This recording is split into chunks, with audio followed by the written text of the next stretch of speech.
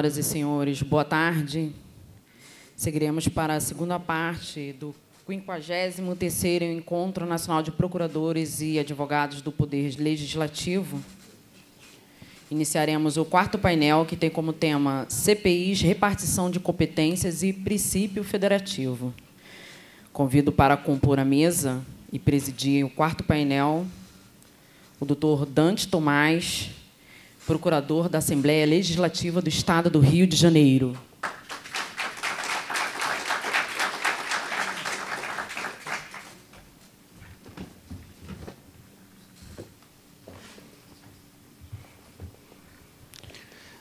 Boa Convido... tarde, bem-vindo de voltas. Eu vou agora com, convidar os do, nossos dois painelistas, duas referências no tema, e tenho certeza que vai ser muito produtivo para todos. O primeiro, o doutor Alexandre Issa Kimura, que é Procurador-Geral da Assembleia Legislativa do Estado de São Paulo, doutor e mestre em Direito do Estado pela Pontifícia Universidade Católica de São Paulo e ex-presidente da ANPAL.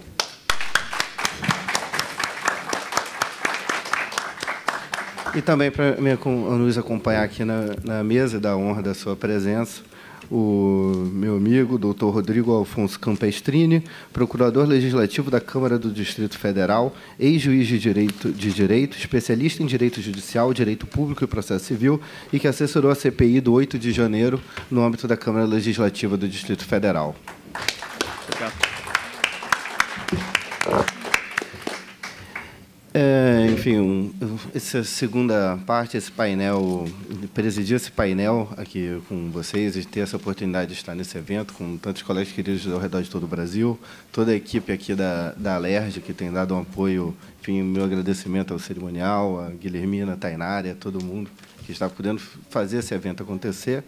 E esse tema é muito importante, é um tema sempre na ordem do dia, no âmbito do Poder Legislativo, no âmbito dos parlamentos, ao redor de todo o Brasil, em todas as esferas, e num congresso que se propõe a falar sobre o controle da administração, as comissões parlamentares de inquérito são, sem sombra de dúvida, o mais famoso e um dos principais instrumentos do exercício desse controle então, tanto em sede judicial quanto em sede do dia a dia da nossa atividade, de, como assessores jurídicos dos parlamentares, e também na atividade do parlamento e dos deputados estaduais, senadores, deputados federais, vereadores, esse, esse assunto, o que pode ser feito efetivamente, o que o Supremo aceita que seja feito, o que deveria ser aprimorado, o que não vem funcionando, o que, enfim, a melhorar. Tudo isso, é um tudo isso são temas que estão sempre na ordem do dia estão sempre em voga, e nada melhor do que ter um dos, talvez, o maior especialista brasileiro sobre o assunto, o Procurador-Geral do Estado de São Paulo, meu amigo Alexandre Kimura, que tem, enfim, pelo menos aqui na, na Assembleia, sempre que tem alguma CPI, que é, demanda a nossa presença, que demanda a presença da Procuradoria, enfim, as, as duas, que nesses dois anos de casa eu participei, pelo menos, qualquer dúvida ou questão mais mais cabeluda e mais difícil de ver um resultado, sempre o livro do professor Kimura esta é consultado nas questões envolvendo CPI. Então, enfim, é um prazer estar ao seu lado agora. Também o Rodrigo, que vem fazendo um grande, um belo trabalho na Câmara Legislativa do Distrito Federal. A CPI do 8 de janeiro de, no, na Câmara Legislativa do Distrito Federal rendeu realmente grandes frutos, teve um grande destaque, foi muito elogiada pelos parlamentares daquela casa na sociedade.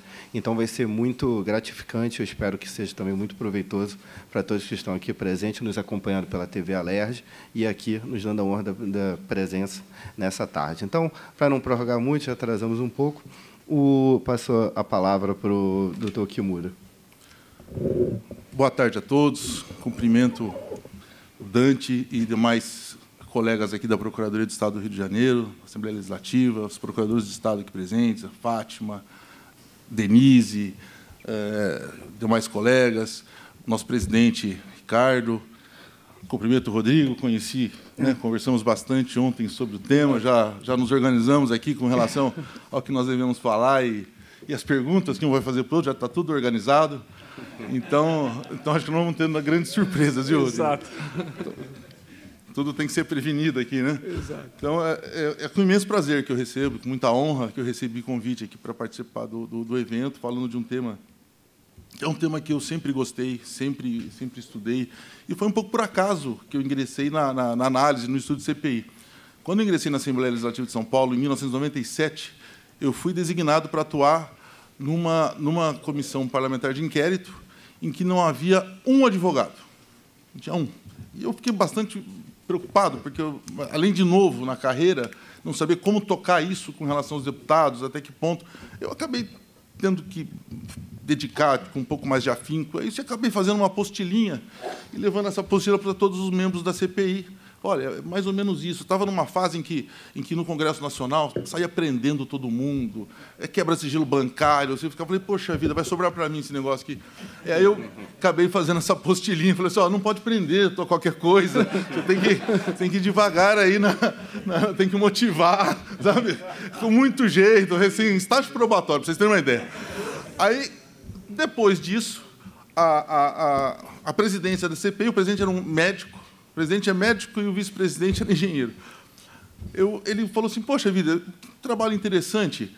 Vamos publicar na gráfica uma apostilinha dessa para todos os deputados aqui da casa. E acabou virando um, um trabalho de gráfica mesmo, né, grampeado, para os deputados da casa. E, nesse meio tempo, eu, comecei, eu continuei estudando, foi uma CPI extremamente relevante, importante, deu muita mídia em São Paulo, era a CPI das indenizações ambientais eu estava em contato com uma editora e a editora falou: Poxa, aproveita esse seu trabalho, nós estamos com tão pouco uh, material para falar de poder legislativo, para falar de CPI, publica um livro. Aí eu dei mais uma, mais uma pensada e acabou virando um livro, isso em 2001. Né? De lá para cá, uh, mudou muita coisa. A gente, a gente sabe que, principalmente com relação a atribuições, poderes, legislação mudou também, né? a questão do princípio federativo. E aí, olhando hoje aqui o tema a gente tem que, que, fixar algumas premissas, pelo menos. Né? É, não dá para esgotar o que a gente vai falar, mas algumas premissas a gente tem. Quando a gente analisa o tema CPI, a gente tem que partir do artigo 58, parágrafo 3 da Constituição Federal. É, ali que estão, eu chamo de pressupostos, pressupostos de criação, pressupostos de funcionamento de uma comissão parlamentar de inquérito.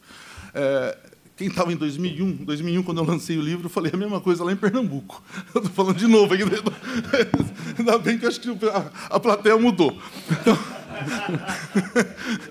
Então, em 2001 eu falei isso, continuo falando, porque esses pressupostos não foram alterados. Né? É o que, é o Rodrigo comentou antes comigo. Falou, o fundamento é difícil você mudar. Você muda a legislação, você muda a jurisprudência, poderes, mas o fundamento vai ser muito difícil, a não ser que mudem o próprio texto constitucional o que, é, o que não ocorreu. Então, analisando assim, os pressupostos de criação e funcionamento, a gente tinha lá o pressuposto deflagrador, a necessidade de ser requerida por um terço dos membros da Casa Legislativa. O segundo pressuposto é o pressuposto temporal. A CPI só funciona por prazo certo.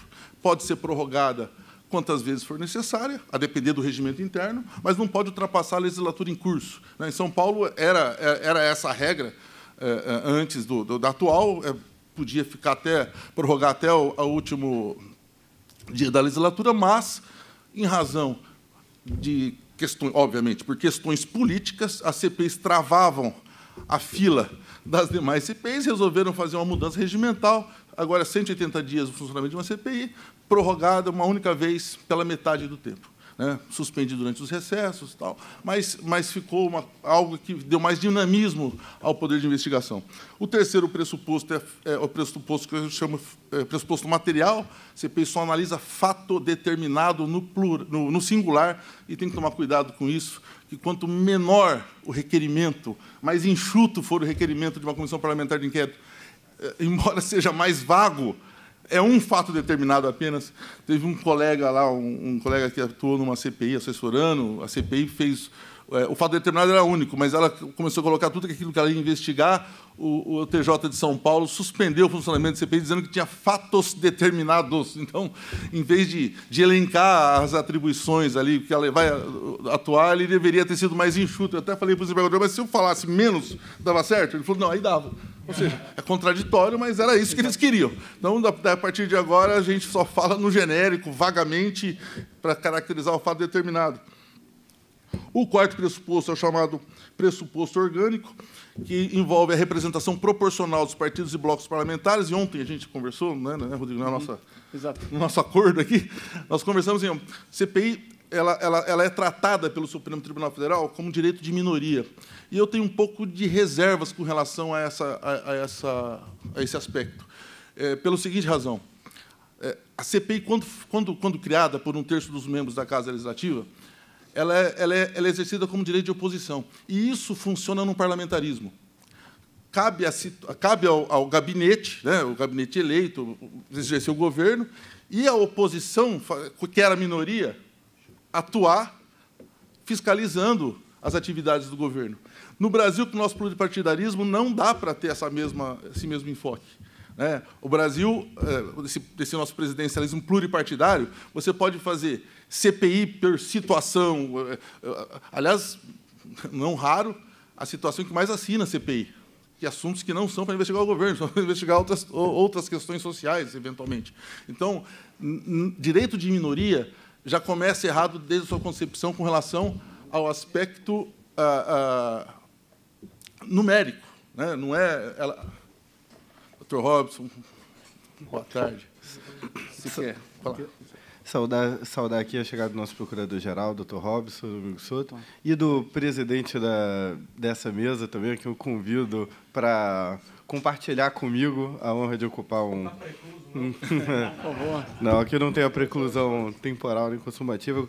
Bruno Espineira Lemos, conselheiro da Comissão de Ética da Presidência da República, procurador do Estado da Bahia, ex-procurador federal doutorando pelo, em Direito pela Universidade Autônoma de Lisboa, mestre em Direito pela Universidade Federal da Bahia, pós-graduado em Penal e Processo Penal pelo IDP e possui curso avançado em Direito Constitucional pelo IDP. É uma honra para Ampal, com certeza, e para essa casa ter a sua presença aqui, e principalmente para mim agora, que estou presidindo em conjunto uma mesa tão gabaritada com, com Vossa Excelência. E, enfim, perdão para o Alexandre Kimura. Pode, por favor, concluir, prosseguir com a sua palestra. Então, eu estava falando sobre o pressuposto orgânico, né, que é a representação proporcional. Então, no, no, no campo, no nosso, na nossa estrutura é, política, não cabe falar dessa, da maneira como ela foi tratada em direito de minoria. Aqui o critério é eminentemente numérico. E tem mais um detalhe. A, a CPI é requerida por um terço, mas a composição dela é por essa representação proporcional de partidos e blocos. Ou seja, em geral, normalmente, na prática, a representação proporcional envolve a situação. É a situação que vai comandar a CPI. Né? Proporcionalmente, ela tem maior número. Então, a representação proporcional de partidos e blocos parlamentares, na nossa situação, eu não gosto, eu não gosto, eu tenho um pouco de reserva para tratar enquanto direito de minoria no sistema político, no sistema jurídico brasileiro. Tá? Curioso aqui, eu vou até fazer um parênteses. Eu fiquei quase um mês e meio estudando e pensando isso para colocar na minha tese de doutorado deu duas ou três páginas. Fui lá preparado, falei, agora vai. Não fizeram uma pergunta sobre isso. Aí você, sai até chateado, né? Falou, poxa vida, duas semanas para estudar, você traz uma coisa nova e depois ninguém se preocupa com, com o que você fala. Mas tudo bem, foi bom assim. Passei do mesmo jeito. Com relação com relação ao último pressuposto, que é o, que é o objeto do nosso tema, que é a esfera de atuação o pressuposto que eu chamo aqui de operacional. O que, o que significaria a, a, a discussão com relação à esfera de atuação? São dois aspectos. A esfera de atuação de CPI ela envolve duas questões, que são as seguintes. A primeira, o aspecto orgânico. Isso só dá para ser tratado, só dá para ser dito, se o Poder Legislativo é bicameral. Assuntos que são privativos da Câmara não podem ser investigados pelo Senado. Assuntos privativos do Senado não podem ser investigados pela Câmara. É, é, é, é nesse sentido. Obviamente, se os assuntos são comuns, tanto faz Câmara ou Senado investigar, ou ainda uma comissão mista. Né? Então, essa é a relação com esfera de atuação. O segundo, que acho que mais nos interessa, é o pressuposto operacional com relação ao critério espacial ou federativo. E aí o problema ganha um pouco mais de, de, de espaço para ser discutido. Por quê? Critério espacial federativo. O, o que a gente fala, eu, eu trouxe um. o nosso sistema de repartição de competências é uma bagunça, né? O que está na Constituição lá, todo mundo sabe que foi uma cópia da Constituição de, de 67 ou 69, com algumas adaptações que gerou uma, uma confusão, uma salada, a ponto de colocar a competência privativa da União legislar concorrentemente em direito, em licitações e contratos. Então, não colocou no artigo 24, colocou no artigo 21. Então, ou seja, até nisso faltou um certo cuidado na hora de elaborar a composição. Eu, eu, eu conversei uma vez com um constituinte, um deputado constituinte, Fábio Feldman, lá de São Paulo. Ele falou assim, como nós estávamos saindo da ditadura, a nossa preocupação, eu falo de coração, a nossa preocupação era tratar de direitos fundamentais. Isso nós discutimos muito. E o tempo foi esgotando. E o que nós fizemos quando quando discutimos a, a repartição de competências, fizemos um recorte cola. Colocou lá, óbvio, com algumas adaptações, e saiu desse jeito. E cabe a nós ficar aqui desvendando o que cada um pode fazer. Né? Ah, eu, eu trouxe até um, um, uma, se puderem colocar. Ah, está ali, está ali, não. Eu pensei que estava.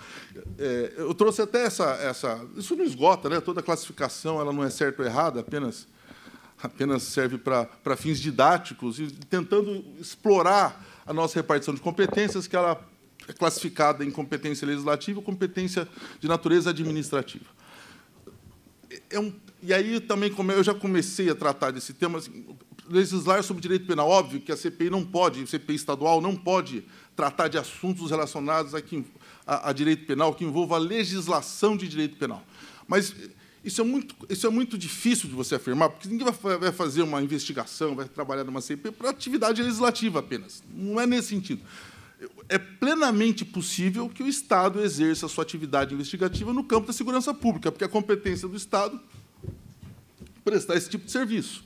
Né? Segurança pública é competência do Estado, direito penal é competência da União. Não posso fazer essa mistura. Então, o que me parece, em última análise, isso é só uma reflexão, é que CPI, quando atua, não atua no campo da atividade legislativa para a gente fixar a sua competência, esfera de atuação. Ela atua muito no campo da, da competência administrativa, da competência executiva. Basicamente, ela investiga o executivo, ela investiga situações que envolvam a atuação executiva. Né? Por outro lado, ela também pode investigar assuntos de natureza social. Né? Até o Bernard Schwartz, um autor americano, ele fala é, a CPI tem por função também chamar a atenção da opinião pública sobre determinada matéria, sobre determinada situação. É uma atividade dela, é uma atividade do direito constitucional americano, desde Bernard Schwartz abordava dessa maneira. Então, é, é, é quando ele teve lá CPI de tráfico internacional de mulheres, tráfico de mulheres ou exploração de mulheres. Teve até uma CPI parecida lá em São Paulo com outro, com outro texto. Mas veja, isso não deixa de ser uma questão que afeta a segurança pública também, que possa ser levado. O que, que o Estado está falhando na investigação desse assunto? Né? De qualquer maneira, está aqui colocado o problema. É, eu acho que assim, é, grande questão para nós é, salvarmos as CPIs que serão é, criadas no âmbito dos estados é como, a, como, que é, como deve ser colocada o requerimento. É a teoria da argumentação. Como você vai argumentar que aquele requerimento deve ser. A gente já sabe o quê? Tem que ser enxuto, tem que ser focado numa atividade sua de natureza administrativa.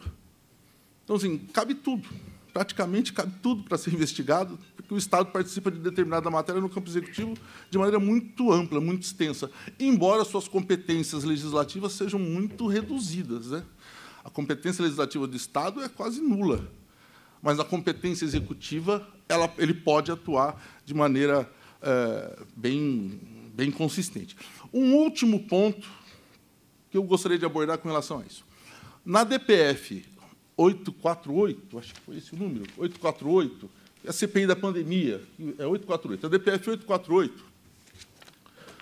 A ministra Rosa Weber, ela, ela, ela não permitiu, na, né, nessa DPF, primeiro em uma decisão liminar, a convocação de governadores para prestar depoimento na condição de testemunha perante a CPI da pandemia. Ele levantou eu ia provocar é Vossa Excelência sobre esse assunto. Ela levantou Não, mas eu já tinha conversado antes Perfeito. com o meu colega, nós já estamos organizando aqui. Você não, você não pegou o começo. Perfeito. É Sincronicidade. É isso. E aí, então, aí, o que a, Rosa, a ministra Rosa Weber comentou? Ó, o governador não pode ser convocado por CPI é, federal. Tá?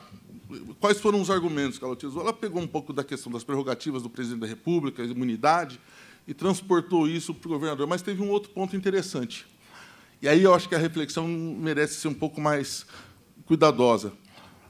Ela diz o seguinte: o repasse de verbas federais para os estados continua com que o Tribunal de Contas da União permaneça no exercício da sua atividade Não é o Estado que fiscaliza mais, continua sendo pelo TCU.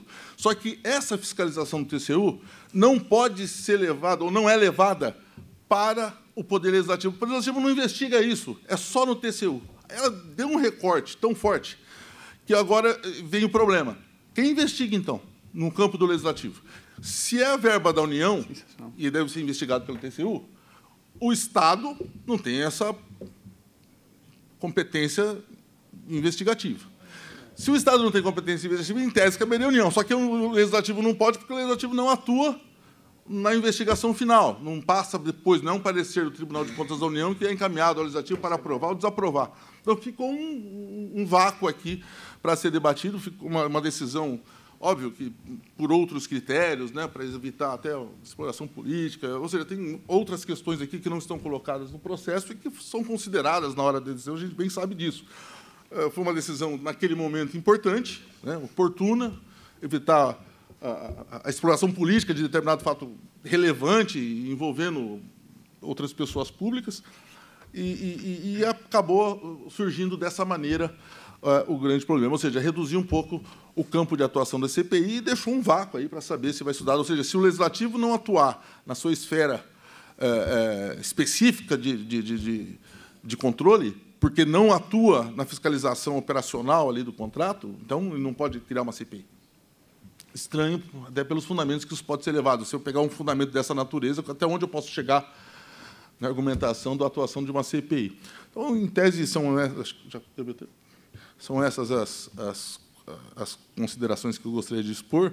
Eu, eu até queria contar uma história. Uma vez eu estava na minha mesa lá e ligou um deputado desesperado, desesperado eu, eu fiz um requerimento para criar CPI do lixo da, do município de São Paulo. Ele é deputado estadual. Eu falei, deputado, não pode.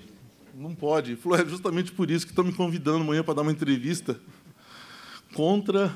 E, e, a pessoa que ia defender contra era o então presidente da Câmara dos Vereadores, José Eduardo Cardoso, grande jurista que era. Era presidente da Câmara Municipal de São Paulo e estava criticando a CPI, uma CPI no Estado, tentando investigar o contrato de lixo na prefeitura. Né? Uma discussão aí também de natureza política. E eu falei, olha, Estado, você vai lá e diga. Se eu queria chamar a atenção da opinião pública, tal, é óbvio que você sabia que não vai entrar. Falei, se saiu bem, deu tudo certo. E, e são essas considerações. Mais uma vez, muito obrigado. É um prazer estar aqui com vocês, é uma honra ter sido convidado. Obrigado a todos, obrigado à mesa diretora que que estava junto nesse congresso, o Dr. Robson, procurador-geral. Meus agradecimentos aos demais colegas e até uma próxima. Obrigado.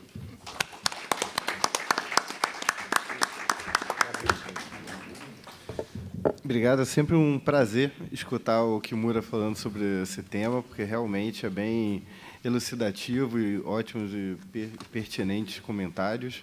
O doutor Bruno, não sei se tem algum comentário, instigação sobre a palestra. Na verdade, Dante, a instigação já na sincronicidade que estava anotada, ele parece que leu aqui. Não já foi isso. É perfeito, perfeito. Era, era um tema que me foi caro na época, inclusive provocado como procurador de Estado para discutir essa possibilidade. E nós tínhamos preparado um arrazoado para questionar, ao final, o Supremo decidiu que não era possível e não foi necessário, enfim, foi o que na época ficou na mente e queria debater, mas o doutor é, Issa, com maestria, tratou do tema aqui, não temos mais nada a instigar. Vamos aguardar nosso querido Rodrigo Alfonso para ver se tem algo que precisemos aprofundar. Precisamos questionar. Perfeito, então, Rodrigo. Prazer você escutá-lo também. Bem-vindo à casa e ao nosso evento. Por favor, tem a palavra. Dante, eu me sinto honrado por compor uma mesa tão distinta, então agradeço a presença. Saúdo a todos os presentes, doutor Alexandre, Bruno, também quero dar uh, aqui um, um abraço e um agradecimento, deixar aqui o meu agradecimento por poder falar a um público tão distinto, doutor Robson, a todos aqui presentes. Eu tinha preparado a minha fala no sentido de expor a experiência que eu tive na CPI dos fatos do dia 8 de janeiro. Esse era o assunto e eu iria explorar a experiência que tivemos na troca de ideias com colegas do Senado a respeito disso. No entanto, eu acredito que toda fala ela tem que estar situada no momento em que a gente vive. E ela precisa ser propositiva. E a gente vive uma situação de uma tragédia humanitária no Brasil. A água ainda não baixou, embora aqui faça muito sol no Rio de Janeiro. E o fato de estarmos até um pouco mais distantes geograficamente nos impede até de ter a real dimensão do que acontece num estado tão querido para a nossa federação. E eu acredito que falando sobre esse tema e linkando com o CPI, eu não saio do nosso ponto, porque justamente um dos aspectos da pauta é o princípio federativo. E eu acredito que não tenha um assunto hoje mais em voga sob o prisma jurídico do que qual que é o papel da federação diante de uma calamidade dessa. E eu fico pensando, que somos nós como procuradores legislativos? Somos o corpo jurídico dos representantes populares. O nosso papel é dar segurança jurídica para que os parlamentares, sejam eles distritais, estaduais, federais, para que eles possam, sim, eles eleitos, representar o povo e levar essas pautas adiante. E eu falo isso, e essa indagação de que somos nós e qual que é o nosso papel, porque nessas andanças, doutor Ricardo estava uh, uh, conduzindo os trabalhos da Ampal em Brasília e houve um dia em que fomos despachar no Supremo Tribunal Federal, Dante. E acompanhando um pouco antes da nossa reunião em gabinete ministro, eu fui acompanhar o plenário. A sessão plenária, tudo muito bonito, mas como turista do que como alguém que depois fosse despachar. E o tema que se discutia no Supremo era sobre se o Supremo deveria ou não declarar o estado de coisas inconstitucional sobre a questão ambiental no Brasil. E o que se debatia lá era se essa declaração do Supremo não iria até gerar efeitos negativos para a nossa balança comercial e afetar o agronegócio. E eu não quero entrar no mérito disso. O que eu quero chamar a atenção é que quem estava debatendo exatamente esse estado de coisas em uma pauta propositiva era o judiciário e não o legislativo, que é a casa dos representantes eleitos a quem nós temos o papel de conferir segurança jurídica. E dentre esses vários instrumentos que o parlamento tem, eu acredito que hoje pela manhã se falou muito sobre o poder que o legislativo tem na condução do orçamento público, na fiscalização, na aprovação das leis orçamentárias, num instrumento muito forte que são as emendas parlamentares, que acaba fazendo um sistema meio que misto brasileiro de legislativo e executivo na condução do orçamento. Mas me coube aqui falar de um dos instrumentos que, nesse momento em que esse desenho do sistema federativo é tão caro para a nação, para enfrentar um problema tão sério, há um instrumento, portanto, que eu acredito que a gente precisa enfatizar, que é o papel da CPI. E, às vezes, o público que nos vê pela TV da Assembleia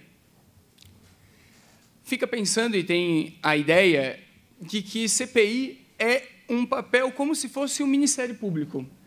Que CPI que dá certo é CPI que, ao final, meio que apresenta uma denúncia em forma de relatório. Se não, termina em pizza. É assim que se tem a ideia da CPI. Mas o doutor, o doutor Alexandre, que foi um dos nossos juristas que fez esse, é, que participou da história do que é até o corpo jurídico, que é a natureza jurídica de uma CPI, no pós-Constituição de 88, vai até concordar que, às vezes, ou se não, na maioria das vezes, o papel mais importante de uma CPI é um papel propositivo e um papel de jogar luz sobre uma pauta cara para a sociedade. Por quê? Porque a atenção da sociedade ela é conduzida pela agenda política. E a agenda política tem um prazo de expiração muito curto. Semana que vem ninguém vai lembrar do Rio Grande do Sul. Mas e se se pensar em instalar uma CPI, esse prazo de atenção da sociedade sobre determinado tema, ele se estende no mínimo enquanto perdurar a CPI. Daí que, num momento como esse, eu fiquei pensando, tá, mas instalar uma CPI a respeito dessa calamidade, até indaguei o doutor Bruno, se não me falha a memória, o nome dele, hoje de manhã, se eu errar o nome, por favor, me, me corrijam, o juiz que falou sobre o sistema federativo. O doutor Abner. Abner, Abner perfeito. Indaguei a ele qual que era a opinião dele, ele que é um jurista que fala a respeito do sistema de simetrias, se seria possível haver uma presença concomitante, tanto de interesse no plano federal, de se instalar uma CPI a respeito desse tema, como no âmbito local, que me parece evidente que seja possível. E os interesses, eu acredito, como um pacto federativo que deve existir, eles se somam. E eu creio que seja possível. E por que, que eu falo isso?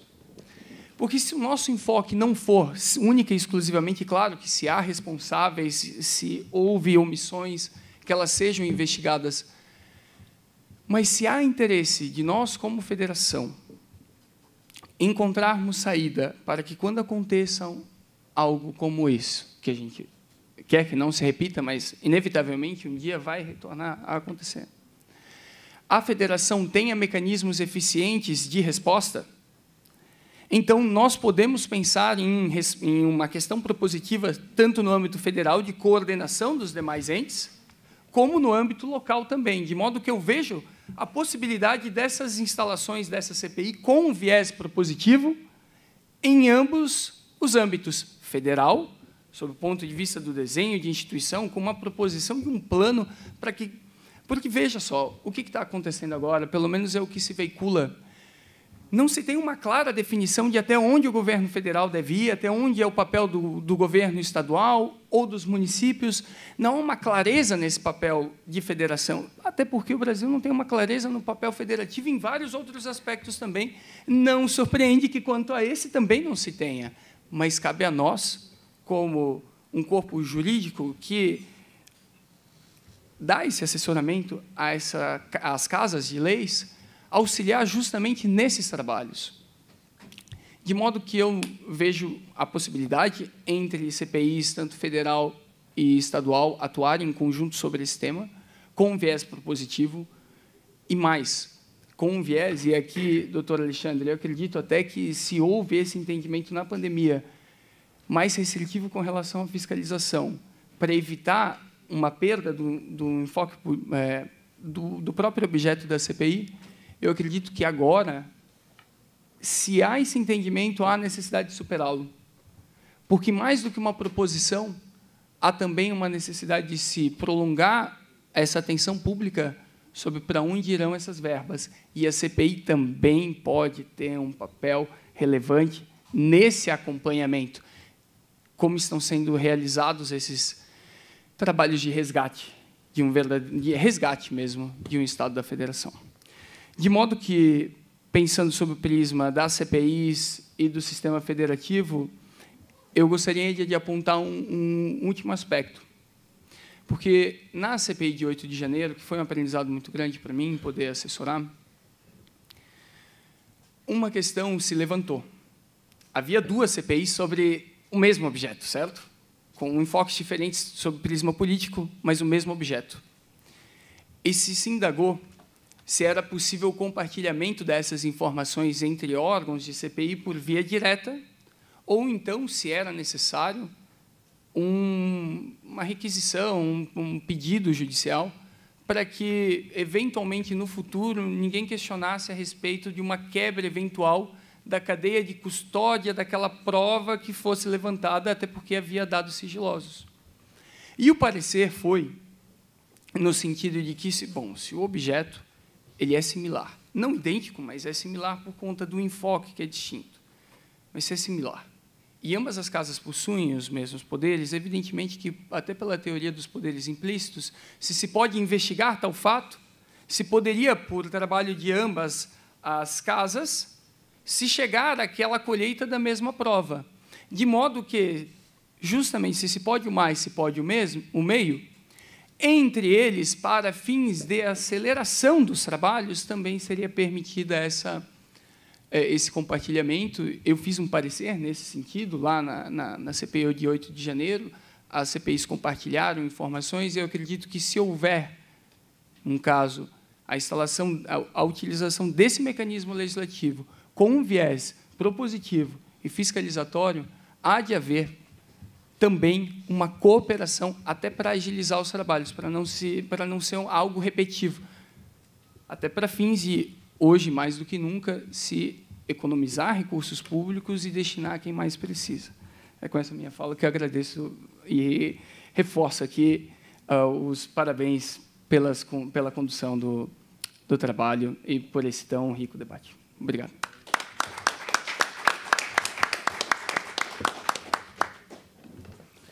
Obrigado, Rodrigo. Sempre, enfim, uma ótima exposição, como sempre. E realmente eu não sei se o, presidente Bruno tem algum comentário. Co-presidente, co-presidente, co-presidente, é, co-presidente Bruno, se tem algum parabenizando o querido Rodrigo, eu, eu, fiquei com algumas dúvidas, Rodrigo, com relação à discussão na época sobre a questão da competência. Estava vendo ao mesmo tempo na Câmara, né, e, Exato e a questão do, dos, próprios, do próprios, dos próprios relatórios e uma, uma, possibilidade de uma superposição de, de, de iniciamentos e conclusões. Isso foi debatido em algum momento lá na, com vocês? No fim, no fim ao cabo, aconteceu que no âmbito federal houve um certo um, um certo desvio de foco. Por quê? Porque, enfim, era uma CPI mista, Sim. salvo engano, e numa CPI mista no âmbito federal havia de várias frentes, tentativas de se investigar, por exemplo, a presidência da República, Sim. etc., coisa que no Distrito Federal já se sabia que não era possível.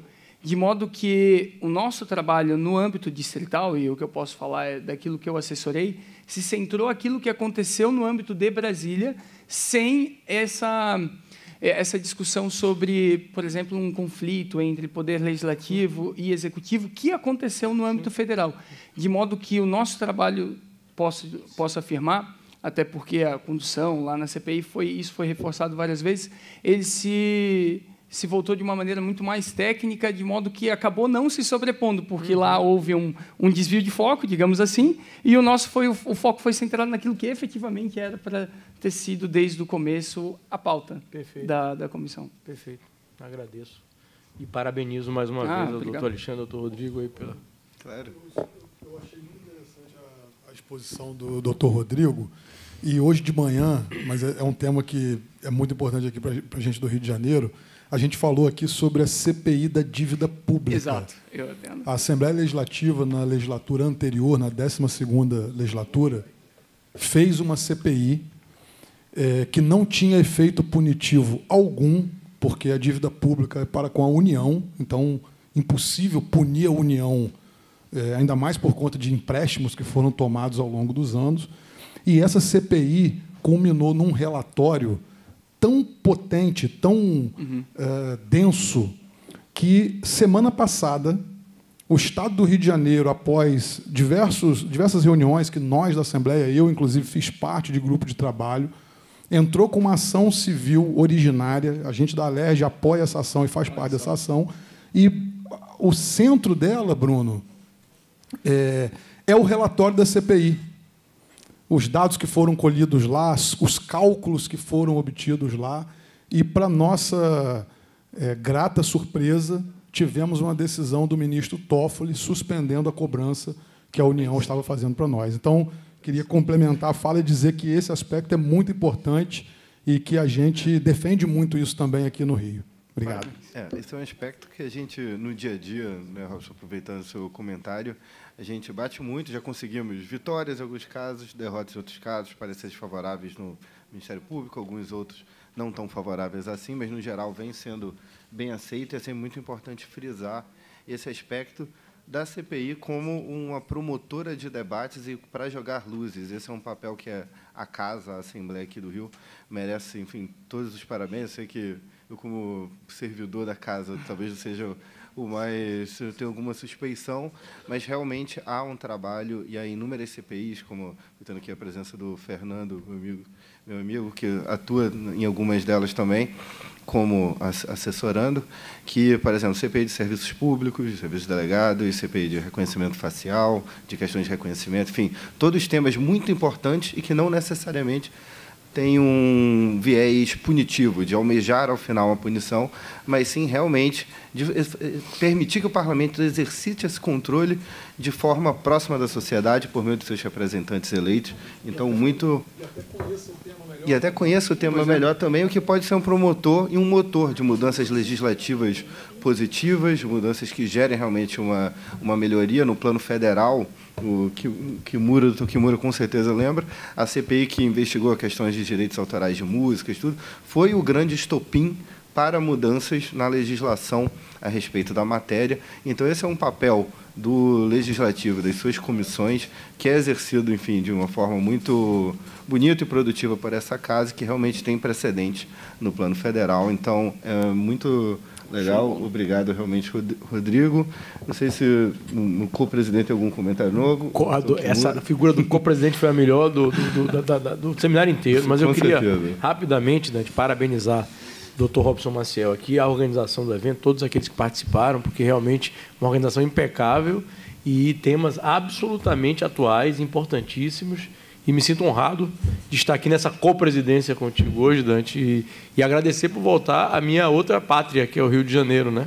Bahia, Rio de Janeiro e DF, mas no meu coração, Bahia e Rio dividem, tanto que eu tenho o título de cidadão carioca, da cidade do Rio de Janeiro, otorgado pela Câmara de Vereadores. A tricolor, não vou falar que era a gandula do Fluminense, senão o pessoal vai ficar enciumado.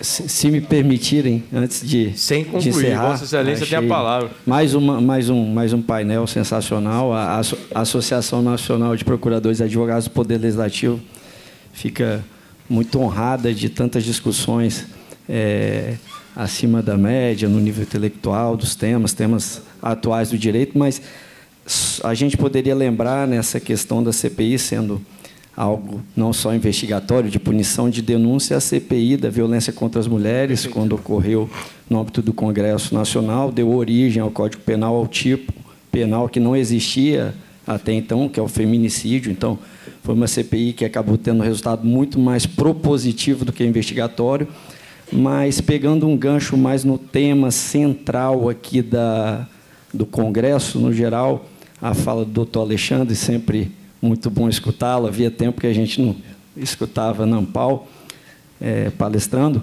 A decisão da DPF, ela, por mais que tenha um, um, uma carga política por trás e tenha sido dada ali também levando em consideração essa carga política, ela trouxe uma, uma, uma situação anacrônica em relação ao poder investigatório é, do legislativo, mas não só ao exercício do próprio controle externo do Poder Legislativo, porque, por mais que nós saibamos da evolução dos tribunais de contas, jurisprudencialmente, dentro do, da, da, dos precedentes do Supremo Tribunal Federal, que se aproximam hoje muito mais de um poder do que de um órgão auxiliar, a Constituição, no artigo 70, ela é muito clara que o titular do controle externo é o Poder Legislativo. Isso está escrito no texto constitucional. Então, a gente acabou ali criando o anacronismo nessa decisão, porque o Tribunal de Contas da União, que, pelo texto da lei, a gente não está falando aqui de precedente, seria o auxiliar, ele poderia investigar a aplicação dessas verbas. Então, investigar uma autoridade do Estado, um governador, etc., que recebeu Sim. esses recursos da União. Mas o próprio titular do controle externo, que é o Poder Legislativo, eu não estou inventando isso, está escrito no artigo 70, abro a Constituição e leio, não pode fazer qualquer tipo de atuação investigativa nesse caso. Então, assim, é uma decisão que realmente precisa ser corrigida o quanto antes. Era só essa reflexão que eu gostaria de fazer. Parabéns mais uma vez pelo painel.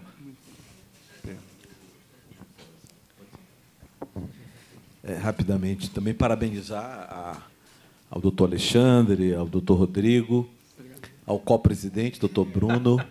Mas só lembrando, o, o doutor Kimura mencionou na questão da divisão federativa e de competência e tal, a CPI que intentava é, investigar eh, a questão relativa ao lixo de São Paulo e que o senhor observou que era competência da, do município e tal. Tem um, um precedente interessante, e, e, ao falar nele, eu lembro de um ditado do ex-governador da Bahia, Otávio Mangabeira, da década de 40.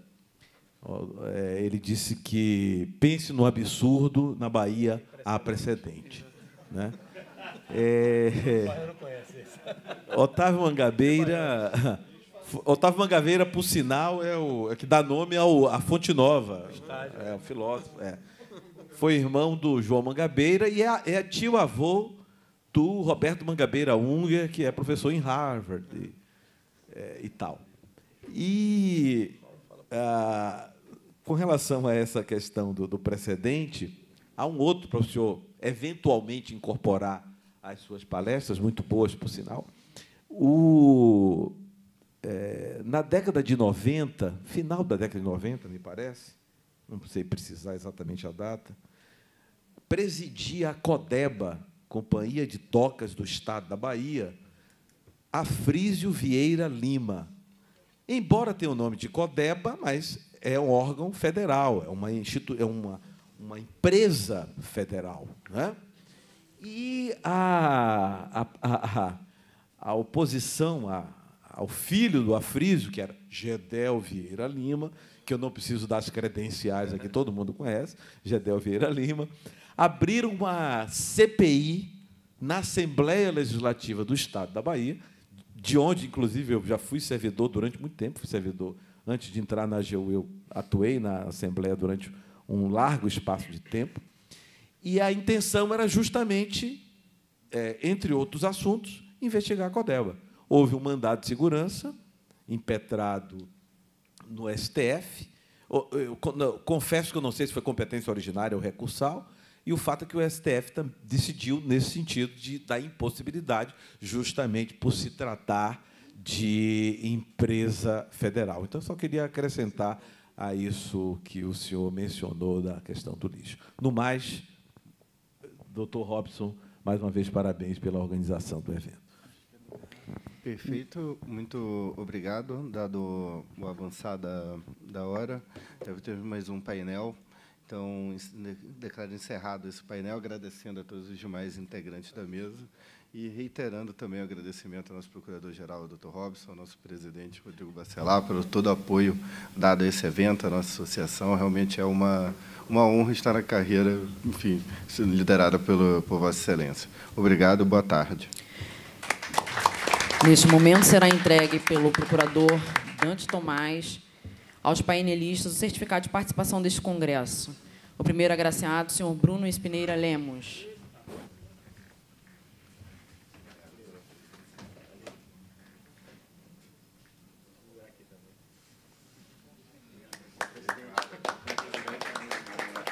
O segundo agraciado, o doutor Alexandre Issa Kimura.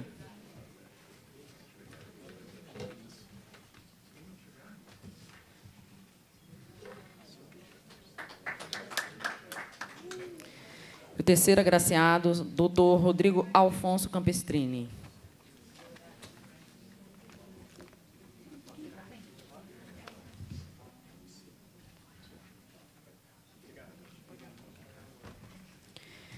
Senhoras e senhores, neste momento será desfeito o dispositivo e daremos abertura ao quinto painel.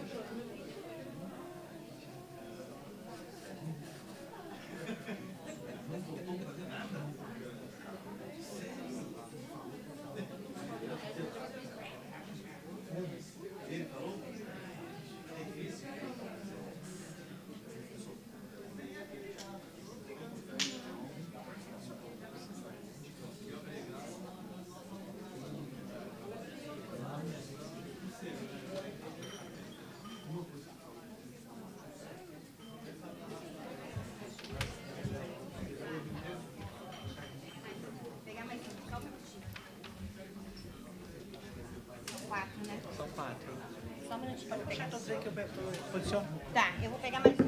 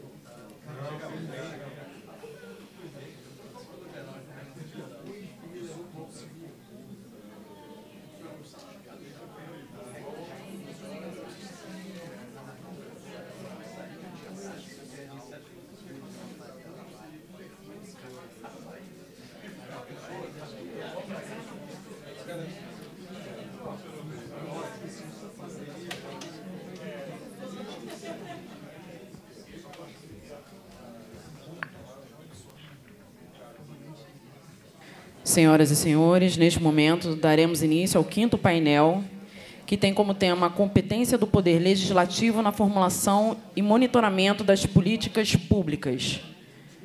Para presidir a mesa, convido a doutora Denise Okada.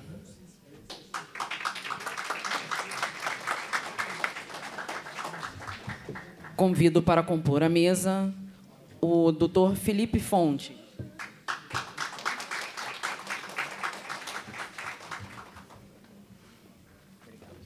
Convido também para compor a mesa a doutora Roberta Simões. É.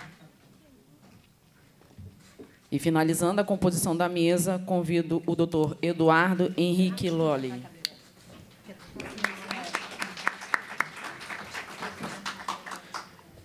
Passo a palavra para a presidente da mesa, a procuradora Denise Okada. Alô?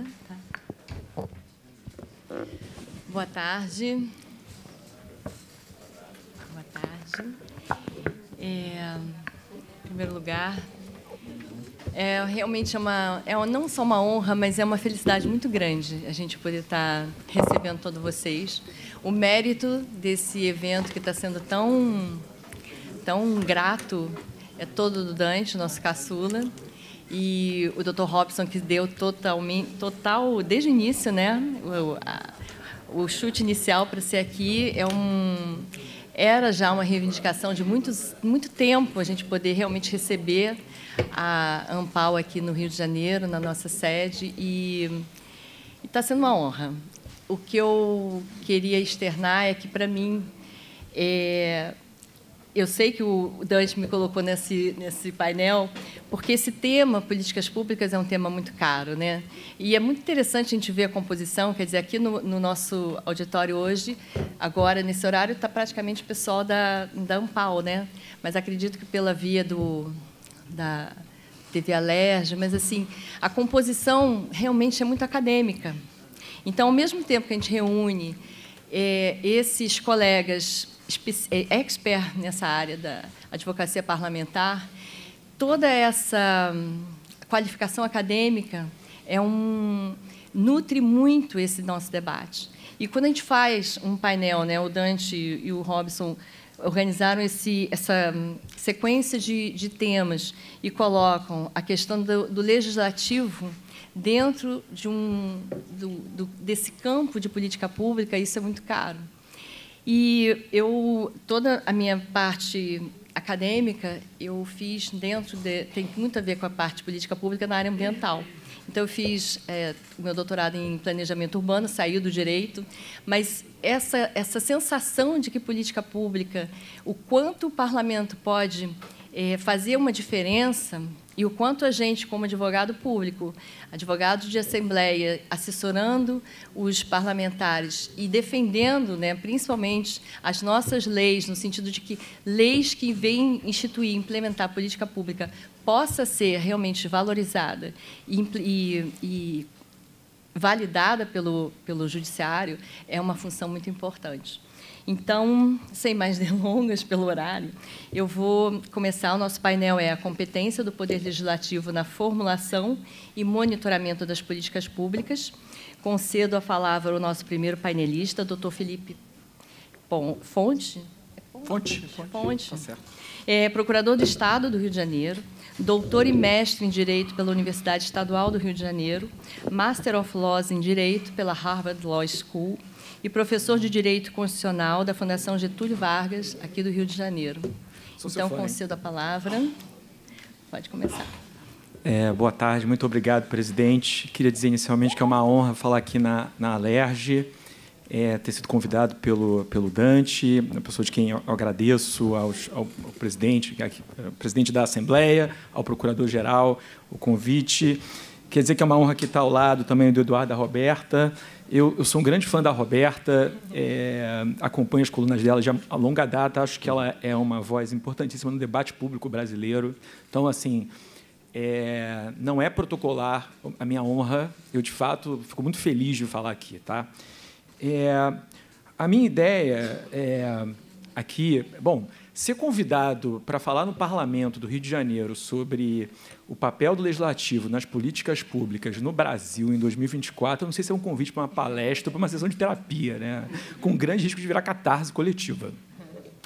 Bom, mas a, a minha ideia aqui é tentar organizar é, essa exposição da seguinte maneira, prometo que eu vou ser curto, como todos os palestrantes, é, pretendo falar um pouco sobre o conceito de políticas públicas, né, o que são, para que servem, e depois eu vou falar um pouco sobre o que eu acho que pode ser o papel do Poder Legislativo nas políticas públicas. Então, são esses dois temas aqui que eu vou falar brevemente.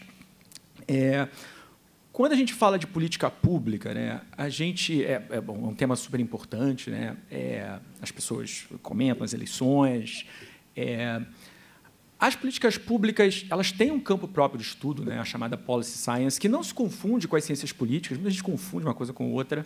É, a policy science ela é fundada, começa a ser estudada ali nos anos 1920, né, é, elas são consolidadas ali os estudos em 1950 e elas começam a ser estudadas nesse momento histórico por uma razão, porque é ali que o Estado começa a fazer mais gasto, né, a participar de maneira mais intensa por meio de arrecadação tributária no PIB. Quer dizer, é, depois das duas grandes guerras, o Estado cresce a sua participação né, na arrecadação do produto nacional interno bruto e, e, ele nunca mais volta atrás. Né?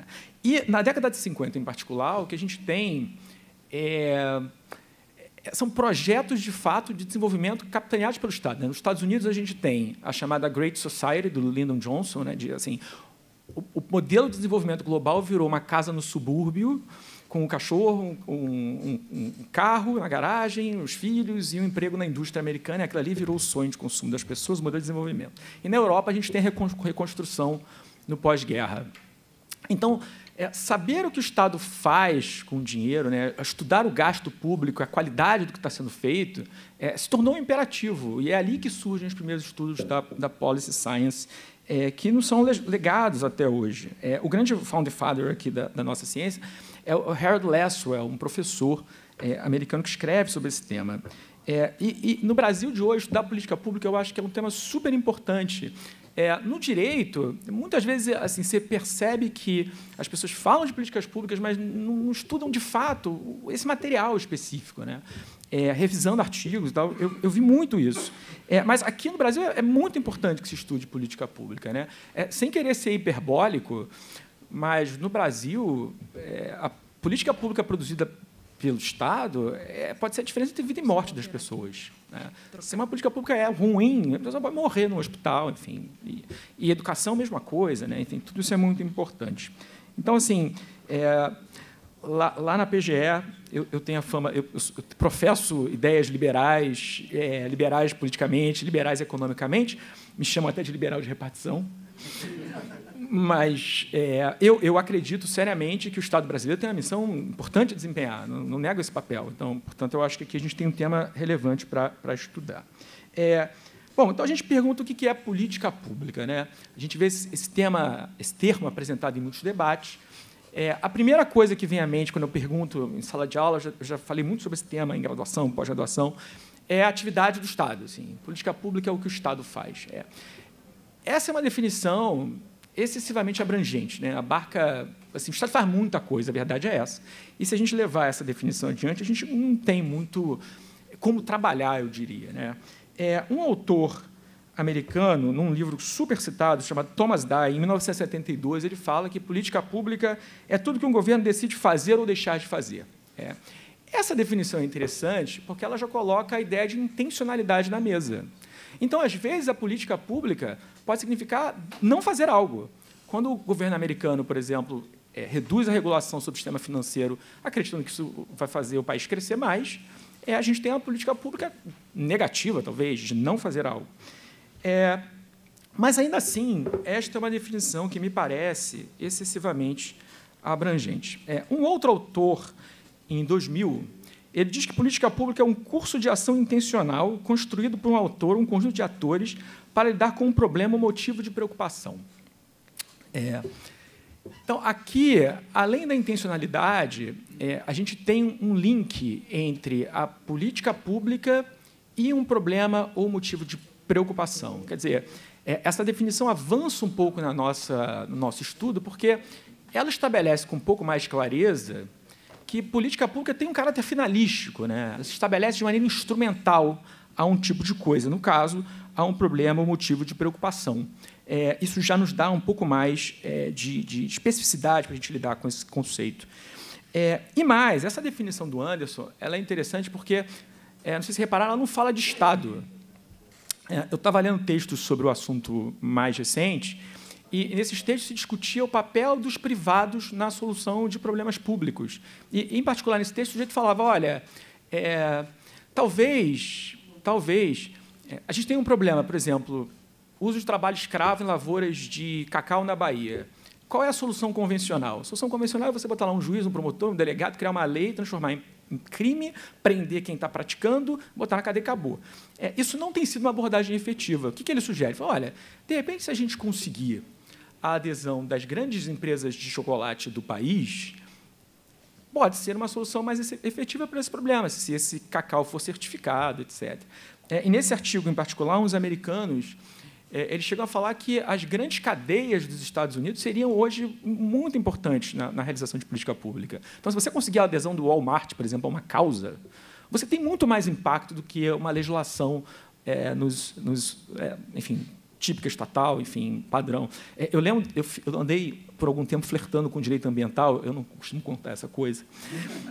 É, e, e, eu fiz aula de direito ambiental nos Estados Unidos, e a professora dizia, enche a boca para dizer, olha, em 1970 os Estados Unidos fez sua revolução ambiental, e nós editamos leis que impediram que os Estados Unidos se transformassem no que hoje é a China em termos de poluição. Só que se você pegar a pauta de exportação chinesa, você vai ver que quem compra os produtos chineses são os americanos. Então, na verdade, a sua vitória regulatória foi, na verdade, uma exportação de poluição e de emprego. Mas é, ou seja, você não solucionou o problema de fato. Agora, quem sabe se o Walmart aderir a, uma, a soluções ambientais mais adequadas, você consegue ter uma solução um pouco melhor pensando em planeta. Né? É, o professor brasileiro Leonardo Sec, ele chega a dizer que, na verdade, o adjetivo pública da política não tem a ver propriamente com o Estado, tem a ver com a natureza do problema. Então, o problema é público e isso sim que demanda a atuação da coletividade. É, e para quem trabalha com direito administrativo, a ideia de um público não estatal já está razoavelmente consolidada. Né? Então, a gente tem é, algumas definições. É, aqui aqui no, no, direito, né, a gente tem a definição da professora Maria Paula Dalari Butti, pessoal da Escola de São Paulo, né, Deus Grau, enfim, que opta por, por, um caminho mais amplo. E aqui no, no, Rio de Janeiro, a gente tem a professora Ana Paula de Barcelos, que eu acho que é quem escreve mais sobre o tema. É, eu tenho um livro sobre o assunto, fazer um merchan, tá? tenho um filho pequeno. É, está aqui o livro. É, depois eu mostro para vocês. É, e, e eu defendo uma, uma acepção mais concreta sobre política pública, mas eu acho que hoje em dia é, a gente tem clareza de que política pública é algo que gira em torno ali do problema público. Tá? Então, feita esse, feito esse, esse registro inicial, agora eu acho que a gente pode falar um pouco sobre o, o papel do poder legislativo. É, bom, quando a gente fala em política pública, a gente tem o chamado ciclo das políticas públicas. Né? A teoria trata desse tema. Não que o ciclo de políticas públicas se verifique assim no mundo real. Quem trabalhou três dias na administração pública sabe que essa ordenação racional do ciclo das políticas públicas não se confirma no mundo real. É um processo um pouco mais eu ia dizer caótico, mas eu vou dizer intuitivo. Dinâmico. Dinâmico, bom, gostei. Dinâmico. Né? É, e sabe que não é exatamente assim. Mas, assim, do ponto de vista teórico, eu acho que a gente pode, primeiro, dar um valor heurístico para o ciclo das políticas públicas, né? É, e a gente pode estudar, eu acho que esse é um campo ainda aberto, como o poder legislativo pode atuar em cada uma dessas fases do ciclo das políticas públicas. Não é minha missão aqui é, tentar fazer isso, passar por uma a uma, seria é, demoraria algum tempo. É, mas, enfim, quais, quais, são essas fases? Né? As fases são a identificação do problema, a, a, o agendamento, a formulação de soluções, a decisão quanto à solução, a implementação da política e a, e a, a avaliação. Avaliação, obrigado. A avaliação quanto à política pública. E o Poder Legislativo, seguramente, tem um papel a desempenhar, provavelmente, em cada uma dessas etapas. Eu acho que a gente pode estudar. É, eu acho que o papel do legislativo mais importante está nessas duas primeiras etapas, de identificação do problema e montagem de agenda. É, identificação do problema. Bom, é, o que é um problema público? O que é um problema? Quando eu pergunto isso lá, pergunto isso nas, nas, nas graduações, na pós-graduação, as pessoas ficam, ah, queria mudar de emprego, queria trocar de namorado, namorada, queria mudar de casa. Esses são os problemas que as pessoas apresentam. É um problema subjetivo. Né? Eu pergunto, quantas vezes você viu que você tinha um problema na sua vida e, posteriormente, você foi lá e resolveu o problema apenas para ver que sua vida piorou? Né? Você trocou de emprego, um mês depois você pede para voltar para o emprego anterior, você terminou, pede para voltar, enfim, essas coisas acontecem. É, e por que, que eu digo isso? Porque é, essa relação entre o problema, né, entre o status quo que você vive e o estado ideal de coisas, que é o que você imagina que você quer viver, que isso forma o problema, essa distinção entre esses dois momentos, não é exatamente uma relação de melhor ou pior. Pode ser que a gente chegue à conclusão que depois a vida piorou. Não é isso? É, a construção do problema não é um dado objetivo da realidade. Na natureza não tem problema para a política pública. Não tem, isso não existe. O problema é um construído, seja do ponto de vista psicológico individual, seja do ponto de vista social coletivo. Então, o problema ele, ele é feito dessa forma. É, e a grande pergunta que a gente tem para fazer é como é que um problema individual se transforma em público? Rios e rios de tinta em policy science, em política pública, foram escritos sobre esse tema. Sim. Rios e rios. Né? É, como é que a gente faz isso? Né? É, é, via imprensa? É via decisão coletiva? Como é que faz? É, e aí, é, na semana passada, discutindo um outro tema de direito constitucional em sala de aula, um aluno falou para mim que, é, que a regra da maioria é, era uma ideia de democracia formal e que podia levar à tirania. E, e eu disse para ele o seguinte: eu falei, olha, é, o parlamento, né, que é a expressão máxima da democracia num país, é, ele é formado de maneira proporcional, mas, enfim, segundo regras eleitorais.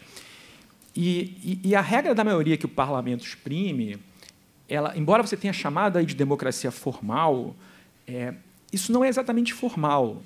Tem um valor associado né, a essa regra da maioria, que é o valor da igualdade política das pessoas. Né? É, a igualdade política significa que eu, tendo feito dois mestrados, um doutorado, minha opinião sobre as questões políticas de um país valem exatamente a mesma coisa do que um sujeito que está ali na porta vendendo amendoim. Né?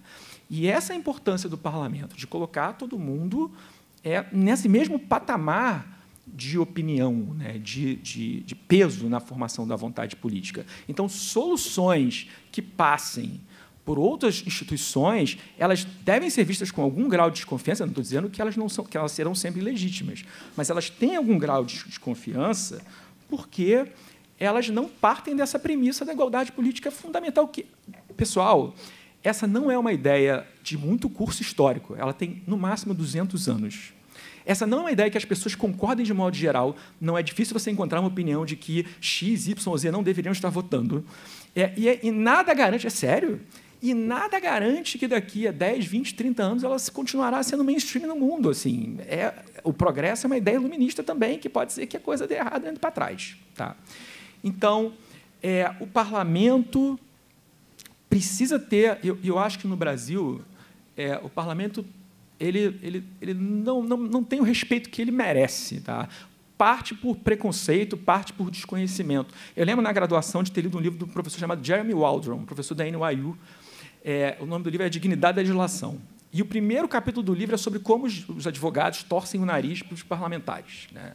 Afinal de contas, nós, advogados, juristas, perdemos muito. Né? O direito era fruto da tradição que nós usávamos lá, os, os glosadores, os juízes, e hoje quem produz o direito é o parlamento. Né? Então, é, a gente precisa ter um trabalho de revitalização desse papel do parlamento. É, eu acho muito importante. E na política pública, em montagem de agenda, identificação de problemas, o papel é essencial. É, no meu livro, eu defendo que as políticas públicas têm três elementos essenciais, né? É, que são as leis habilitadoras, a gente trabalha com o princípio da legalidade, as leis orçamentárias e a discricionalidade administrativa. É, o parlamento decide qual é a agenda pública que se vai fazer por meio das leis, né? Por meio das leis, ou pelo menos deveria ser assim. É, por quê? Porque aqui no Brasil, além dessas limitações que são próprias de preconceito e desconhecimento, a gente ainda tem limitações institucionais. Eu desconheço país que tenha o nível de iniciativas privativas que a Constituição de 88 implementou aqui. É, o artigo 61 da Constituição, eu acho que é uma jabuticaba. Né? Só tem no Brasil. E, e, mais, e a interpretação dada pelo, ao artigo 61 foi uma interpretação expansiva até recentemente. Né? Eu acho que o Supremo usava argumentos formais e o, e o Judiciário usava argumentos formais, muitas vezes quando não gostava da decisão do ponto de vista meritório, achava que era ruim economicamente. E aí julga inconstitucional por vício de iniciativa, por vício de competência, prefere usar essas estratégias, ao invés de enfrentar a questão de, de peito aberto, que muitas vezes é uma questão de livre iniciativa. Pô, não dá, aqui tem uma linha aqui, você não pode passar. Pronto. É, e acho que o, o, o tribunal deu um passo atrás agora ao julgar o tema 917. Né? No tema 917, o, o, tribunal disse que a lei parlamentar, de iniciativa parlamentar, mesmo que seja criadora de despesa né, e definidora de política pública, ela é constitucional, o que me pareceu sempre muito claro. Assim, né? as, as regras do artigo 61 devem ser interpretadas restritivamente, pelo menos de maneira estrita, porque se trata de uma exceção à liberdade parlamentar. Eu nunca vi parlamento tão cerceado como no Brasil.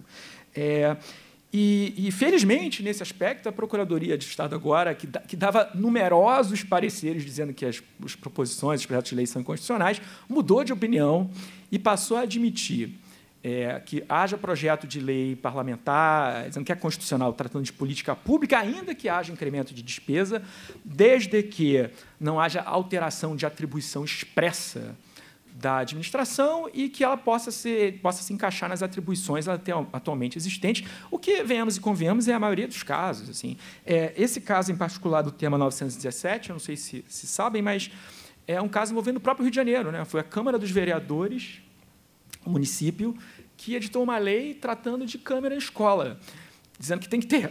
É, eu acho câmera em escola um assunto particularmente sensível, mas me parece muito razoável que um parlamento possa, pensando em segurança das, das crianças, legislar dizendo que tem que ter câmera em escola. Né? É, eu acho que há outros problemas aqui, enfim, em outras fases da, da nosso ciclo de políticas públicas. É, por exemplo, é, problemas de processo de orçamentação. No Brasil, falam que o parlamento lidar com orçamento é antidemocrático. Assim, a primeira função do parlamento foi cuidar do orçamento. Assim, é medieval a conquista, é assustador um pouco. É, enfim. E, e, acho que há espaço também para avaliação. Eu sei que a casa aqui atuou, no, no, no, caso envolvendo os deputados que foram até uma repartição pública, e depois veio uma liminar dizendo que não podiam entrar. Eu não li a decisão, mas já, já fico perplexo simplesmente saber que uh, tem uma decisão judicial que não deixa que o parlamentar entre numa repartição pública estadual. Né? Parlamentar estadual na repartição pública estadual. Nós temos uma emenda constitucional daqui do Rio de Janeiro permitindo a entrada. É, é bom, eu... Está eu... Tá com, tá com a arguição de mas até que não se julgue, é. ela está tá em pleno vigor. É. Então, assim, para problematizar ainda mais essa decisão judicial, a gente tem aqui no Rio de Janeiro uma, uma emenda constitucional que permite expressamente a entrada do, parlamentar. Muito boa a colocação. É, eu fico muito perplexo com, com essas decisões e, e acho que há um largo espaço para o desenvolvimento acadêmico, até para a advocacia legislativa, naturalmente, é, assumir essa posição de defesa de prerrogativas numa perspectiva mais ampla de como o parlamento, de fato, ele, ele é um órgão essencial para a democracia. Tá bom? Era esse o recado. Obrigado. Tá?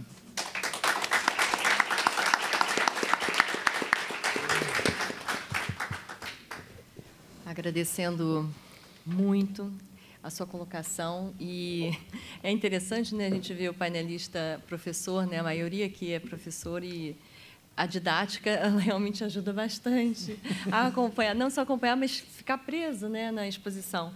E a questão do, do tema 917 que você tocou, ela é, pelo menos para mim, eu acho que para todos nós procuradores, ela é muito cara, porque apesar de ser óbvio, o fato de estar consagrado num tema facilitou tanto a, a, nossa posição, as defesas da gente. Agora, mesmo assim, no âmbito do nosso Tribunal de Justiça, na nossa prática, é, ainda tem muita resistência. Imagina. Então, o tema 917, querendo ou não, foi um, um bálsamo. Né? Então, vamos passar agora a palavra à querida professora Roberta Simões. Vou ler rapidinho o pequeno currículo que está aqui. Advogada do Senado Federal, doutora em Direito pela Universidade Alicante, na Espanha, doutora e mestre em Direito pela Universidade de Brasília, professora da Universidade de Brasília, e agora é uma figura presente no Rio de Janeiro para nos ajudar nos intercâmbios. Com a palavra, professora. Obrigada, boa tarde. É um prazer estar aqui, doutora Denise, uma honra é, queria começar saudando é, o Dr. Felipe Fonte, a quem muito me honra, me honra a mim estar aqui no dia de hoje. Preciso externar mais uma vez o agradecimento a ele.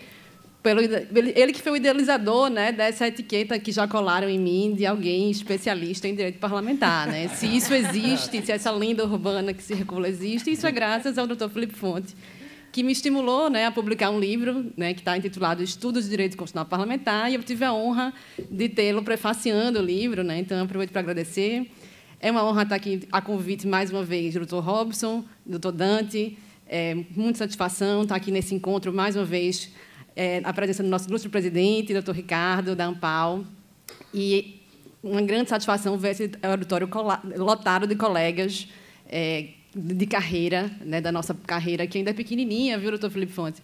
Mas é, nós estamos fazendo coro e, pela primeira vez, aqui, eu, como advogada do Senado, estou tendo a honra de contar com colegas já da nova geração. Em poucas semanas, eu completo 15 anos como advogada do Senado e estou tendo aqui na plateia três colegas já da nova geração, a doutora Isabelle, que presidiu a mesa anterior, tem aqui o Pedro e Cláudio. Então, eu fico muito feliz com a presença de todos. Bem, feitas as saudações, e doutor Souto, claro, não posso esquecer, né? mais uma vez é uma satisfação estar aqui com ele. Bem, essa coisa da didática do professor, isso tem a ver com o seguinte: é muito difícil dar aula para estudantes de graduação, eles são meio dispersos. Então, às vezes, a gente tem uns truques assim de fazer prendê-los, prender a atenção deles. Né? Então, a minha estratégia é tentar fazer algum PowerPoint e essa é a maneira também que eu me livro de olharem para mim, as pessoas olham para a tela, e aí eu fico menos tímida, né? Embora não pareça, eu sou tímida. Bem, então eu vou é, me ater ao, aos pontos que eu preparei, né, também. E eu, é, imaginando, né, sem ter conversado com o doutor Felipe, eu imaginava que ele ia focar na elaboração de políticas públicas, então eu vou passar rapidamente pela elaboração e vou focar na outra etapa do nosso painel, que é a avaliação, e focar na avaliação pelo Poder Legislativo. Né? E eu gosto de começar, é, o primeiro ponto de, de, de conversa aqui no dia de hoje é enfatizar isso que o doutor Felipe falou agora há pouco.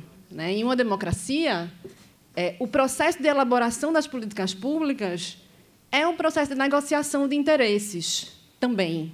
Né? Não é só técnica, é um processo que é técnico-político. Né? E isso, às vezes, as pessoas têm, de, fa de fato, dificuldade de entender, né? de por que, que o legislativo se mete, né? mete a mão e, às vezes, na ótica de alguns, piora políticas públicas, enfim. Mas é, o ponto que eu vim defender aqui é de que é o que se espera do legislativo. Né? É o que se espera, que ele realmente se intrometa, né? que ele não seja um mero carimbador né? das opções do, do, do executivo, né? porque é no legislativo que vão ser conciliadas as diversas aspirações contrapostas, ambas igualmente válidas. Né? O segundo ponto, né, pegando esse gancho, né, dada essa definição de políticas públicas, né, dada essa premissa fática do que são as políticas públicas, é conceber que o processo de avaliação é a, contra, é a continuação desse processo de elaboração, é a contraface. Né? Então, o processo de avaliação das políticas públicas é tão técnico-político quanto a própria elaboração. E, eu, e essa avaliação também cabe ao Poder Legislativo. Né? E a gente vai ver que eu vou comentar a experiência do Senado na avaliação de políticas públicas.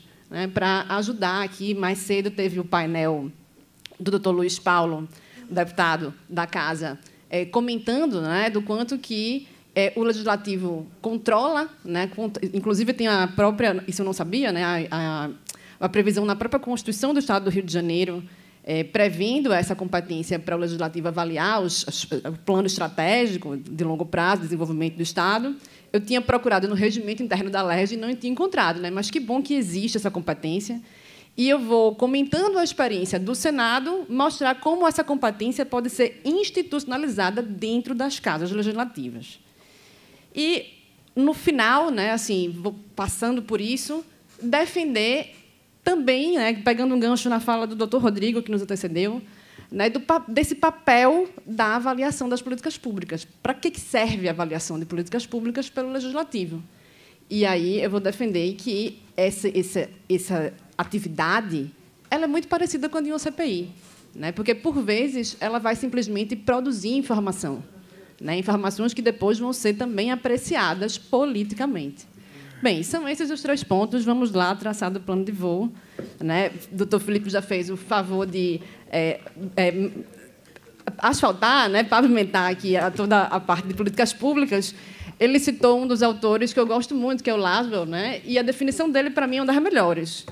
Que ele fala o seguinte, que políticas públicas são, basicamente, quem ganha o quê, quem ganha o quê, quando e como. É a definição mais sintética e, para mim, uma das mais precisas. Né? E a ideia desse, nesse sentido, né, de quem ganha o quê, quando e como, diz respeito aos processos, ao processo decisório. Então, os processos importam. Ah, eu tento nas aulas, né, quando estou ensinando, é, compartilhando os conhecimentos com os alunos, enfatizando que assim, como é que a gente avalia o processo decisório, né? Como é que a gente avalia uma política pública em primeiro lugar? É olhando como ela foi construída. Né? Então, esses processos importam, né? Como a política pública foi elaborada, quem foi ouvido, quais foram as instâncias, as fases, se houve audiências públicas, se houve participação, enfim, se houve colaboração. Sendo certo que existem diversos atores. Né? Então, o legislativo não é o único, nem o executivo é o único. Também tem um importante papel que é o da burocracia, dos próprios destinatários. Então, a elaboração de políticas públicas é um processo multidimensional e complexo por natureza. Né? Então, conceber essa dificuldade, essa complexidade, né, é um pressuposto de a gente conseguir é, entender melhor a dinâmica das políticas públicas, né, como isso tudo é meio fluido.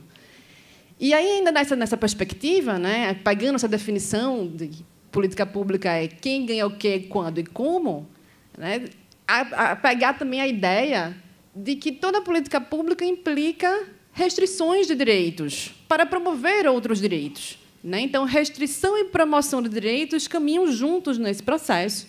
E é por isso que a elaboração de políticas públicas importam, e também a avaliação consequente, porque tudo isso envolve gasto público e a, e a devida elaboração de políticas públicas, a tentativa de racionalização desse processo, se presta, um, se presta como um instrumento otimizador dos gastos públicos. Então, quanto mais eficientes, eficazes, né, quanto mais é, acertadas sejam as políticas públicas, maiores as chances de isso economizar gastos públicos, porque a avaliação, em tese, vai oportunizar informações que podem, inclusive, descontinuar as políticas públicas quando elas alcançam os objetivos. Né?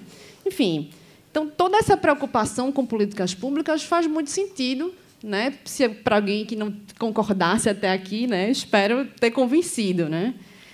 Então, o primeiro ponto já entrando na palestra mesmo, é esse. Né? Então, o que é que se espera do Poder Legislativo em matéria de políticas públicas? Que ele não seja um mero carimbador. Né? Acho que esse é o principal papel. Então, é, o que se espera do Poder Legislativo é justamente essa interferência, essa interação. E, claro, na literatura existem diversas classificações voltadas para mapear os diversos comportamentos possíveis do legislativo aqueles que são mais intrusivos, né, ou mais participativos, colaborativos. E o exemplo clássico é, é, o Congresso americano, que é uma das especialidades aí do Dr. Souto, que ele gosta muito do direito americano. Né? O Congresso dos Estados Unidos é tradicionalmente classificado como um dos legislativos mais colaborativos, porque eles conseguem efetivamente, pela infraestrutura organizacional, né, a capacidade institucional que eles têm lá, de desenhar políticas públicas do zero e fazê-lo muito bem, enfim existe depois uma outra gama intermediária de legislativos que conseguem obstruir iniciativas do, do, executivo, que conseguem colaborar, e existem as outras que são simplesmente omissas, né? que elas só servem para chancelar as escolhas. Então, vejam, tem aí uma ampla gama de atuações possíveis do legislativo nessa interação com o executivo, né? e o que se espera, então, é que a atuação do legislativo sirva para evitar políticas que não sejam ajustadas às necessidades sociais, né? evitar políticas que não estejam contemplando a realidade fática dos destinatários. Então, o principal papel aí dessa interação executivo e legislativo vai ser especialmente oportunizar isso. E, claro, há, há diferentes espectros de atuação, níveis de atuação, e isso varia especialmente conforme a temática de cada política, né? nem todas as políticas vão exigir o mesmo nível de interação do legislativo, e a peculiaridade organizacional do próprio legislativo. Mais cedo, hoje de manhã, já foi comentado aqui o arcabouço constitucional da previsão da competência de avaliar políticas públicas. Eu já estou entrando no segundo ponto, né, de avaliação propriamente dita. Não vou me ater muito nesse, nessa questão, já foi conversado aqui no dia de hoje, né, mas está aqui no artigo 37 parágrafo 16, incluído pela emenda 109 de 2021, que existe a obrigação dos administradores públicos, né, para o administrador público, de avaliar a política pública. E a avaliação, né, pelo que a gente já está comentando aqui, tem todo esse papel importante de racionalizar os gastos públicos, de otimizar e verificar e produzir informações que vão ser apreciadas politicamente. Notem o quanto que demorou para essa previsão ser inserida constitucionalmente. Né? Isso foi apenas em 2021. Só que, tradicionalmente, já havia, tanto na literatura né, como nas experiências, a convicção de que existe um dever pós-legislativo né, de atuação do próprio legislador. Né? A atividade dos legisladores não se encerra com a aprovação da lei, continua depois dela. E isso, é, enfim, o doutor Souza também gosta dessa área. Né? Há mais de 50 anos, ou 60 ou mais, o próprio Tribunal Constitucional da Alemanha tem jurisprudências né, que eles, para evitar a declaração de inconstitucionalidade de leis, eles dizem: olha, o legislador tem que avaliar isso aqui, tem um juízo de prognóstico necessário, e remetem para o legislador tomar a decisão. Então, é, lá no, no, na Alemanha, isso é uma estratégia para que eles não declarem inconstitucionais. E aí, assim, eu não vou descer em detalhes dessa casuística, mas tem vasta literatura mostrando essa jurisprudência que na Alemanha é muito forte, de um dever de monitoramento pós-legislativo, né, como parte da obrigação de legislar. E aí notem que, pelo completando né, com a fala do, do, do, do Luiz Paulo mais cedo, essa é uma competência que mistura atividades legislativas e fiscalizatórias ao mesmo tempo. Né? Porque, assim como avaliar a política pública, o legislativo ele está examinando a, a implementação por parte do executivo, ao mesmo tempo, ele está revisando a própria atividade legislativa de elaborar leis. Então, a avaliação vai ficar sempre ao meio caminho dessas duas questões. E vejam, como eu dizia, a ideia é, nesse momento de avaliação das, das políticas públicas, angariar informações que sejam capazes de verificar se aquelas políticas públicas estão efetivamente atendendo aos objetivos e aos interesses né, dos destinatários. Então, vejam, é, cabe ao legislativo pesar isso também, né, as novas circunstâncias fáticas advindas da elaboração. E aí, como eu dizia, assim, a maior parte da literatura se foca na fundamentação jurídica, isso é um ponto superado. E eu acho que o desafio nosso, né, nós que estamos nas carreiras do legislativo, é pensar como o legislativo pode fazer isso, né, como institucionalizar essa prática dentro das casas. Só a guisa de ilustração, antes mesmo de 2021, essa uma das organizações que avaliam políticas públicas é essa CLEAR, é uma, um, uma entidade vinculada à FGV São Paulo, que é o Centro de Aprendizagem e Avaliação de Resultados para a África Lusófona e Brasil. Essa entidade existe desde 2015. Né? Então, notem o quanto que a emenda constitucional que previu né, colocou no texto da Constituição, está atrasada. Já desde 2015 isso já existia, né? ou seja, a atividade de avaliar políticas públicas, inclusive no plano privado, porque essa é uma entidade privada. Então, não existe monopólio do Poder Legislativo em avaliar as políticas públicas. Então, está aqui o CLEAR, né, que o objetivo é fomentar essa agenda de monitoramento, eles oportunizam capacitações, né, disseminam metodologias, eles têm casos de políticas avaliadas. Né, para quem tiver interesse, é só visitar o site.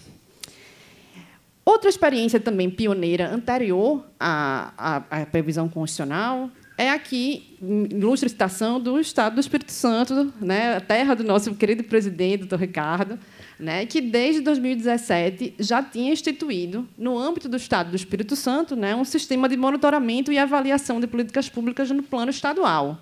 Então, o Espírito Santo tem uma experiência pioneira, né, está disciplinado nessa lei aqui, que é a lei, 10, lei estadual, né? Lei estadual 10.744, desde 2017. Quem executa essa avaliação é o Instituto é, Jones dos Santos Neves, né, que é uma entidade, também no plano estadual, dedicada, né, enfim, entre outras atribuições, a executar essa avaliação de políticas públicas e eles também são pioneiros em metodologias e em disseminar essa prática de como avaliar, de como monitorar. E também tem um caso bem sucedido, o doutor Ricardo pode falar disso aqui melhor do que eu, que é a terra dele. Né? E também no plano federal, eu citaria a existência do Conselho de Monitoramento e Avaliação de Políticas Públicas, que é um órgão do Executivo, do Poder Executivo Federal, que existe também desde 2019, ele foi criado em 2019 e, quando foi ano passado, ele foi reestruturado por esse decreto aqui, que é o decreto 11.558 de 2023, e que é, conferiu aí um novo arcabouço institucional ao CEMAP, né, que é esse o Conselho de Monitoração, de Monitoramento e Avaliação de Políticas Públicas. Então, tudo e toda essa essa essa volta né, para dizer isso. Né? O legislativo ele não avalia sozinho, existem outras instituições, é, como também dizia mais cedo no painel mediado pela doutora Isabelle, é, Pedro Dionísio, né, falava da sobreposição, né, dos perigos, ali, da redundância de controle nós não temos nenhum tipo de dilema, né? não é nenhum problema que hajam diversas instituições para avaliar políticas públicas. Pelo contrário, quanto mais gente dedicada a produzir esse tipo de informação, melhor. Inclusive, é o CEMAP né, quem avalia e implementa, né, desde então, a obrigação do artigo 37, parágrafo 16. Né? Então, o CEMAP anualmente envia esses relatórios desde então e esses relatórios das políticas públicas avaliadas subsidiam né, as leis orçamentárias, como determina o próprio texto da Constituição. E aí, vejam, estou falando aqui várias experiências né, no plano estadual, no plano federal, para chegar onde eu queria chegar, que eu tinha dito a vocês, que era a experiência do Senado, que, coincidentemente, foi a primeira de todas nesse, nessas, nessas experiências históricas que a gente está comentando aqui. Desde 2013, existe a Resolução 44 de 2013, que incluíam no regimento interno do Senado a obrigação, né, enfim, não é bem a obrigação, né, mas é a competência de avaliação legislativa das políticas públicas. E isso foi, na época, uma iniciativa do presidente Renan Calheiros, né, que encampou essa ideia de que o legislativo também tinha que avaliar as políticas públicas. Isso veio no bojo de uma série de outras providências que ele tomou na época como presidente do Senado, né, criou uma comissão Senado do Futuro, enfim, instituiu diversas outras medidas. E aí o que ele fez foi inserir no regimento interno esse artigo, que é o artigo 96b, né, que prevê que as comissões temáticas, né, as comissões permanentes, dentro de cada uma de suas áreas de atuação, é, podem escolher políticas públicas para avaliar. E essa avaliação vai seguir um roteiro, né, um roteiro que está disciplinado aqui no próprio artigo 96b. Anualmente são escolhidas políticas públicas. Essa escolha tem que ocorrer até o último dia útil do mês de março de cada ano. Essa não é uma obrigação propriamente, né? Assim, é uma liberalidade, né? Cada comissão adere se quiser, mas tem havido uma boa adesão. E aí, para avaliar é, essa, para realizar essa avaliação, após a escolha das políticas públicas, é traçado, é designado o relator, depois é designado um, o relator fica encarregado de apresentar um plano de trabalho, né, com um calendário e com providências que têm que ser tomadas para essa avaliação de políticas públicas dentro do legislativo. E isso implica, por exemplo, lançar mão dos mecanismos tradicionais de fiscalização, com base no artigo 50, né, de pedidos de informação ao executivo. Então, é o legislativo pedindo informação ao executivo para poder avaliar a política pública. Então, não necessariamente é o próprio legislativo produzindo isso, mas um tempo depois foi inserido aqui esse parágrafo 5 que não, estava na redação original do artigo 96b, que previu a possibilidade do Data Senado, que é um instituto é, pertencente à Secretaria de Transparência do Senado Federal, que produz pesquisas, pesquisas de opinião, enquetes, de o Data Senado também colaborar nessa atividade de avaliação. E, enfim, embora o artigo 96b não traga audiências públicas, elas também são realizadas dentro do legislativo para a é, avaliação dessa política pública, das políticas públicas. É mais ou menos é esse um roteirinho aqui que eu peguei de um dos trabalhos de uma das colegas do Senado que é, esquematizou e se, se propôs a avaliar empiricamente como vem sendo executada essa atribuição. Né? Então, se escolhem as políticas, se designa um relator dentro da comissão, é elaborado o um plano de trabalho, esse plano de trabalho implica requisições de informações em geral, órgãos externos, né? E aí, após a implementação desse plano de trabalho, o relator fica encarregado de elaborar um relatório geral, avaliando a política pública, e esse relatório, oportunamente, vai ser incluído no calendário da comissão para ser votada na comissão. E esse relatório final pode conter uma série de providências, é, de sugestões, encaminhadas, inclusive, a órgãos externos, com o objetivo de aprimorar, de aperfeiçoar, né, de colaborar para a política pública. Aí, só para distrair um pouco vocês, tem aqui alguns exemplos, né, esses requerimentos com base no artigo 96b estão disponíveis, né? Se a gente colocar isso na internet, rapidamente aparecem, né? Então, cada comissão tem seus requerimentos com esse, com esse fundamento no artigo 96b, que é avaliação. Alguns são aprovados, outros não. Então, todas as comissões, como eu dizia, é, vem aderindo a essa atribuição, né? a despeito de não ser uma obrigação, né? o, o regimento interno teve esse cuidado, né? tem havido uma adesão. Assuntos sociais, né? vejam várias várias políticas públicas aí, é, educação e cultura, né? e aí eu entro aqui na análise de por que escolher as comissões permanentes. Né? A ideia é justamente não criar mais uma unidade organizacional dentro da casa e aproveitar a infraestrutura que já existe das próprias comissões, que tradicionalmente são locos de debate especializado e, ao mesmo tempo, de canal de abertura para a participação dos interessados. Né? Então, se une útil ao agradável, né? usando a infraestrutura que já existe. Né? Enfim, na época, os relatos de quando essa competência foi instituída era de receio dos servidores, porque sobrecarrega um pouco as atribuições mas, por outro lado, é uma atribuição que se soma e, na verdade, auxilia né, na, na, na execução das demais tarefas de fazer andar projetos de leis, né? produz informação. Então, assim, essa resistência foi somente inicial, né? porque, basicamente, a maioria aderiu. E o determinante para o êxito né, disso funcionar é que as comissões tenham estruturadas as equipes de apoio. Né? Já está vindo aqui o bilhete. Estou mais ou menos. É, vou, vou, vou correr, vou correr, vou correr. É, correndo, então, para ilustrar, né? aqui, por exemplo, houve esse requerimento muito importante de uma avaliação de uma política pública, que foi a Política Nacional é, de Assistência Integral à Saúde da Mulher, em que foram determinadas, por exemplo, investigações sobre por que as mamografias não estavam é, indicando os cânceres, porque vinha aumentando a mortalidade de mulheres por câncer de mama, e, enfim, coisas desse tipo pergunta, é, é, avaliação do programa Ciência Sem Fronteiras, que foi bastante polêmica na época. Então, várias políticas públicas já foram avaliadas com base nesse artigo. É, e as perguntas que são respondidas são as perguntas tradicionais, né? Saber se os recursos estão sendo empregados, né? Se os processos estão ocorrendo a tempo e modo, né? Se os serviços estão chegando ao público-alvo desejável. Enfim, se trata de produzir informação. Uma das é, recomendações de um dos relatórios finais da avaliação da política pública do Pronatec foi a proposição desse projeto de lei. Então, das recomendações também podem surgir sugestões de proposições legislativas, e aí eu cito essa, é, esse PLS 488, que foi bastante polêmico, porque ele quer incorporar né, a avaliação na própria Lei Complementar 95, está tramitando, né? vamos aguardar isso nos próximos capítulos andando rápido, não vou falar mais de monitoramento, passando aqui a parte da, da, da tecnopolítica, né, que era um dos pontos que eu tinha prometido falar. Né.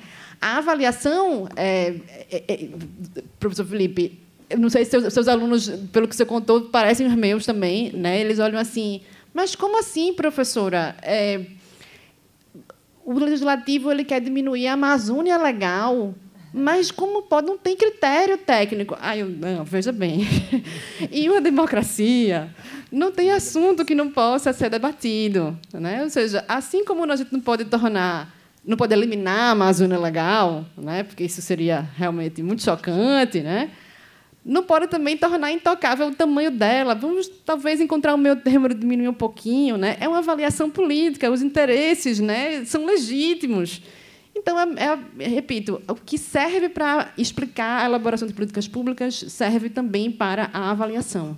Né? Às vezes, as pessoas têm a ideia de que a avaliação é um procedimento estritamente técnico, norteado por neutralidade, né? por uma metodologia quase científica cartesiana, e isso não existe no legislativo, né? E nem é desejável que assim o seja, porque assim toda vez isso vai ser sempre politizado, né? Enfim, a natureza da avaliação, tal como ela está desenhada para o legislativo, é fornecer subsídios para uma tomada de decisão depois que vai ser política, né? E esses subsídios, eles, enfim, vou avançar aqui para chegar já no ponto que eu já ultrapassei meu limite, né? 16 minutos aqui. E é, a metáfora que eu encontrei para explicar essa, essa avaliação como ela é pelo legislativo, né? Ela é como uma fotografia? Então, assim, a qualidade da fotografia não é determinada muito se ela é colorida, né, seu equipamento mais avançado. Né? A ideia é que quem examina, né, quem tira a foto, né, quem faz a avaliação da política pública, pode escolher o melhor ângulo, né, pode escolher o enquadramento, enfim, vai ter uma destreza de quem, é, quem faz a avaliação.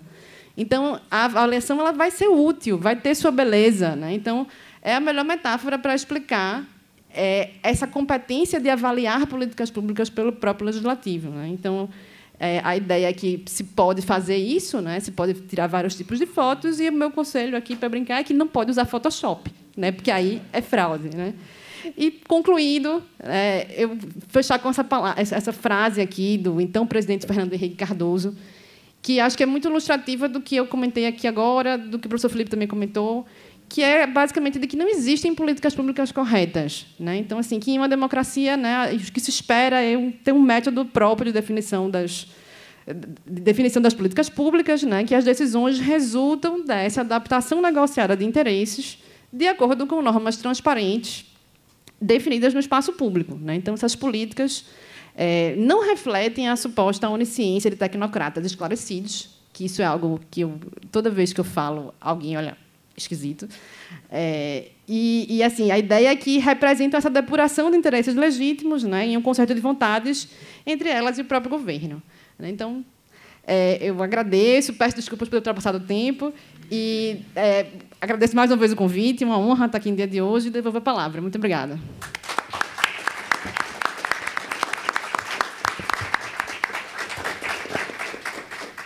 É, é muito complicado, né? Num evento desses, a gente ter o problema do tempo, intermediar tempo, e porque realmente a gente perde a noção do tempo. E uma coisa ficou assim, para mim, pelo menos, professora Roberta, e acredito que para todo mundo, você me convenceu. A questão da ficou muito fácil e, e convincente a, a eloquência da, dessa, desse conteúdo da colocação. O que eu fiquei pensando aqui, sabe, doutor Ricardo, eu acho que tem que pensar nos próximos eventos congregar o judiciário, porque um tipo de, de, de painel desses, né, em que vem o execu, um executivo, que eu digo, o, o profissional do executivo, o legislativo, mas isso tem que ser levado para o judiciário, porque as nossas batalhas né, no contencioso, elas são muito frias. Se o judiciário, eu falo muito pela realidade nossa aqui do Rio, né, não estou falando do, do STF, mas se o judiciário chegar perto e, e, e, isso, entender em outra instância, né? não no, no, processo, mas entender num fórum desses, eu acho que ia ser tão mais é, rico, né? tão mais é, proveitoso para todo mundo, porque, escutando assim os painelistas, fica assim, uai, qual o problema? O legislativo tá, tem tudo, como não? Mas eu acho que tem muita resistência, tem muito é, preconceito por uma série de questões, mas, assim, fortalecer a figura e o espaço do legislador é, é uma tarefa, às vezes, um pouco inglória. Né? Em 1917, uma, enfim, passo a palavra para o nosso próximo painelista, com muito orgulho, Eduardo Henrique Loli. Loli? Loli. Loli. Ele é procurador da Assembleia Legislativa de Goiás, mestre em Direito e Políticas Públicas da Universidade Federal de Goiás, especialista em jurisdição federal em direito tributário. Passo a palavra. Obrigado, Boa tarde a todos. Em primeiro lugar, agradecer aqui ao, ao anfitriã Denise e o anfitrião Dante, demais colegas do Rio de Janeiro, pela organização desse brilhante evento, ao Dante especialmente pelo convite, oportunidade de estar participando aqui nessa banca, num tema que, me, que é tão caro, tão importante, que é o das políticas públicas, e ainda mais na presença de de colegas tão que têm uma expressividade tão grande, tão relevante nessa matéria, como a professora Roberta Simões, que teve uma brilhante fala agora, e o professor professor Felipe Fonte também, é um prazer conhecê-lo pessoalmente e estar aqui nessa banca para discutir esse importante assunto. Bom, comentar um pouquinho sobre a, tentar trazer alguns aspectos complementares, apesar de todos os ensinamentos que foram ditos aqui compartilhar um pouco da experiência que nós estamos tendo lá em Goiás em relação a um, a um programa de mestrado profissional que foi instituído pela Universidade Federal de Goiás em 2017, do qual eu sou egresso, me formei no mestrado lá em 2022, que é justamente um programa profissional de mestrado em Direito e Políticas Públicas.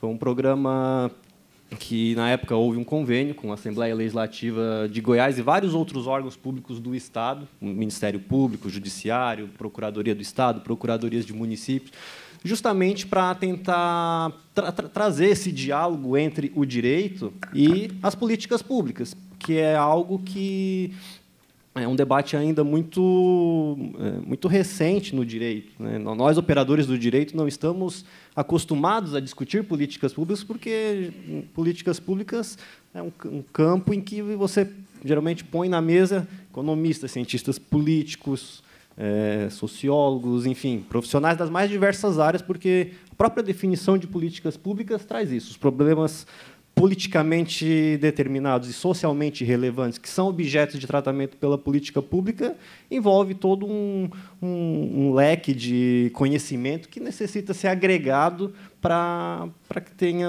enfim, uma, um tratamento mais assertivo possível. Nós do direito não estamos acostumados a dialogar com os colegas da economia, da ciência política, e isso já é um primeiro e grande desafio de nós nos inserirmos nesse debate de, de, políticas públicas. Mas o direito também tem a sua voz e deve ter a sua voz ao lado desses demais profissionais, porque as políticas públicas possuem essa, essa conformação legal, legislativa, ou a título normativo, ou legislação em estrito senso, propriamente dito, mas as políticas públicas, via de regra, têm uma normatização e, muitas vezes, a, o problema da política pública pode estar na própria, no próprio nascedouro, na própria normatização que está ali, de uma forma ou outra, limitando a eficácia daquela política pública.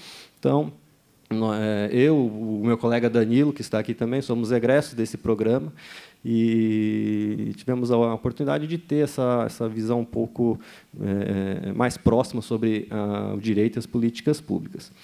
É, gostaria de comentar algumas questões, algumas experiências que nós estamos tendo lá na Assembleia Legislativa de Goiás em matéria de controle de, de políticas públicas. É, fruto desse programa, Hum, houve uma iniciativa legislativa, uma proposta de alteração da nossa Constituição Estadual, professora Roberta, em 2019, criando o que se chama de Sistema Permanente de Monitoramento e Avaliação de Políticas Públicas. Isso foi positivado no artigo 30A da nossa Constituição Estadual, para acrescentar a lista da, da, professora Roberta de todas aquelas iniciativas né, que já foram desenvolvidas em âmbito federal, âmbito estadual prevendo uma atuação integrada entre executivo, legislativo, judiciário e, enfim, os poderes, tanto na definição de políticas a serem é, eleitas para avaliação, como na questão da execução. Infelizmente, como o, o, o, próprio dispositivo da Constituição Federal previa uma regulamentação, a nossa Constituição Estadual também previa uma regulamentação desse sistema.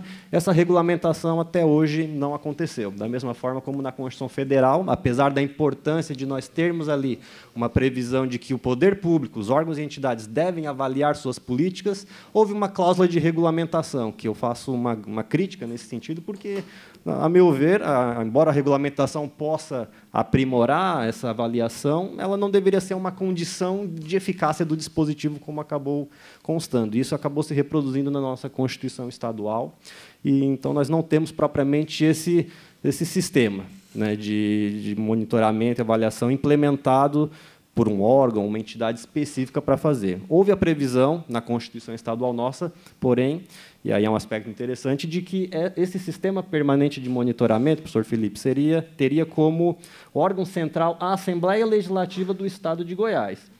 Então, acredito que seja mais uma questão de amadurecer esse modelo, mas já tem essa previsão expressa de que caberia à Assembleia trazer essa, é, desempenhar esse papel né, de, de órgão central no sistema de monitoramento de, de políticas públicas. A despeito disso, né, um capítulo à parte, ainda não, não, apesar de não termos essa regulamentação, a Assembleia Legislativa de Goiás implementou, estruturou, melhor dizendo, uma secretaria de instrução, chamada Secretaria de Instrução Técnica e Controle, em agosto de, do ano passado, de 2023, que é uma estrutura, acredito, bastante pioneira no, no Brasil. Não sei se alguma assembleia já adotou uma iniciativa semelhante, mas que é justamente um órgão com a, com a missão institucional de trazer informações e dados para subsidiar de forma mais técnica a atuação controladora né, da Assembleia Legislativa, ou seja, subsidiar a análise e a, e a, atuação de fiscalização e controle externo da Assembleia Legislativa. Essa secretaria, da qual atualmente fui alçado a titularidade, ainda estamos num processo de construção nela, de enfim, é, caminhos e melhor forma de, de, entregar produtos à sociedade, mas ela já teve como prim, prim, uma primeira missão analisar tecnicamente as contas do Tribunal de Contas do Estado de Goiás e do governador do Estado de Goiás. Então, as, as contas tanto do TCE, que lá em Goiás nós temos essa atribuição de análise da, e julgamento das contas do TCE, como é, do governador do Estado, nós temos a oportunidade de fazer uma análise mais técnica, com base em dados, dessas contas. Né? A estrutura hoje dessa secretaria conta com ela é privativa de um procurador da Assembleia de carreira, no caso, hoje sou eu, e dois técnicos, dois auditores da CGU foram cedidos da União para nós, para nos auxiliar nessa questão de avaliação de contas do Tribunal de Contas do Estado e do Governo do Estado. Então, é uma oportunidade que, que nós temos de nos debruçar de forma mais técnica sobre esses elementos, Né? E, numa análise prévia, por exemplo, nós já detectamos algumas impropriedades nas contas do Tribunal de Contas. Por exemplo, o Tribunal de Contas, na, na prestação de contas dele, ele não, não traz assim, uma análise sobre o resultado das ações finalísticas que ele, que ele deveria entregar para a sociedade. Resultados achados de auditoria, por exemplo, de inspeções de trabalhos que poderiam subsidiar a atuação controladora da Assembleia, é uma, uma, uma uma, prestação muito de conformidade, né, muito limitada. Então, nós vamos sugerir ao Tribunal de Contas, pelo menos à comissão competente da Assembleia, para que, assim, recomende ao Tribunal de Contas para que aperfeiçoe as suas contas e, e, e evidencie mais para a sociedade o produto do seu trabalho né, enquanto um órgão de controle.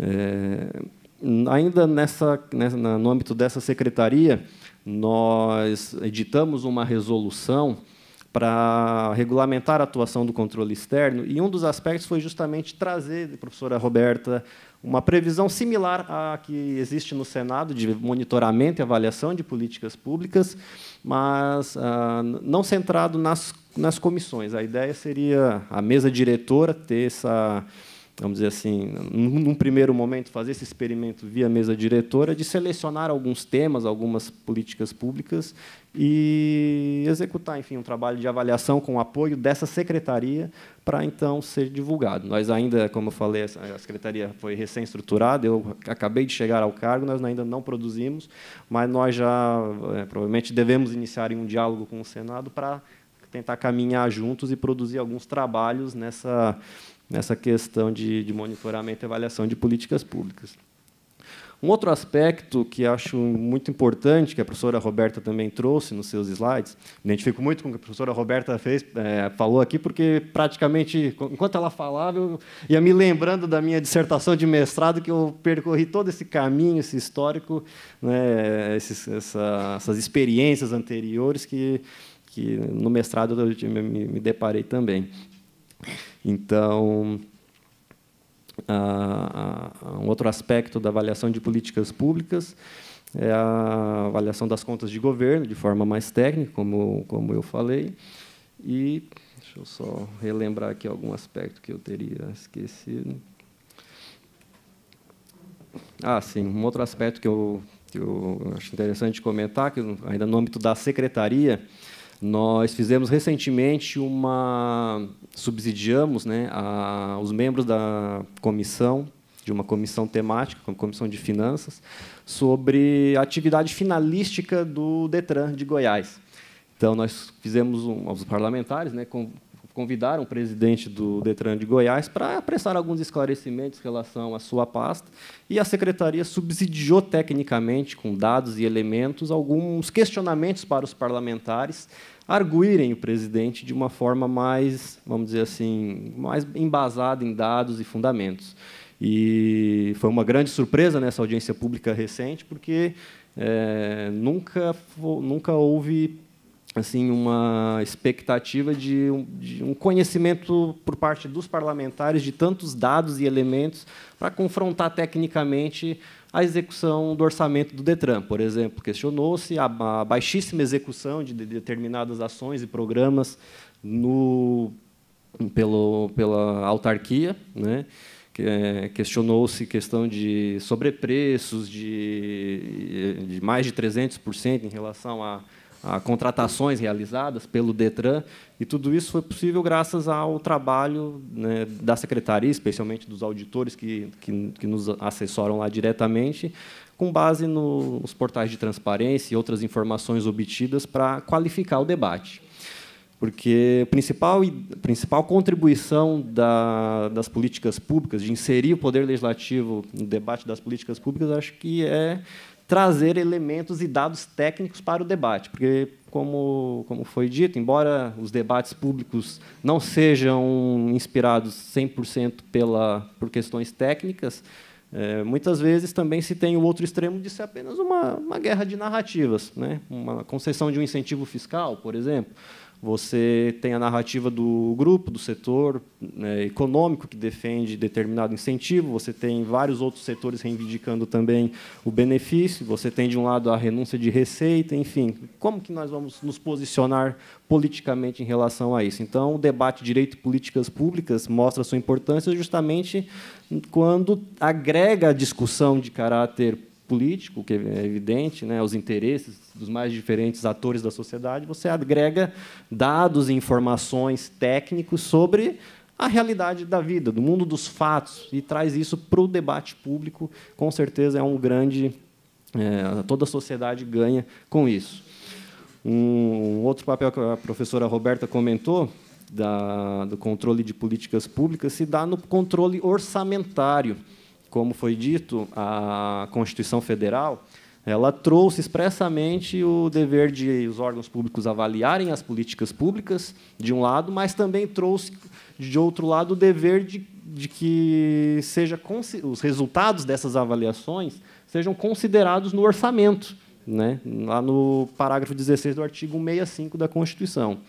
E então, quando o Poder Legislativo recebe essas peças orçamentárias do Poder Executivo, cabe aqui um papel de, de cobrança. Né? Executivo, por que, que você está destinando é, essa, essa cifra considerável de recursos aqui para a área para a área X, aqui diz, vamos supor, por que, que ciência e tecnologia tem mais recursos do que a saúde, por exemplo, ou não?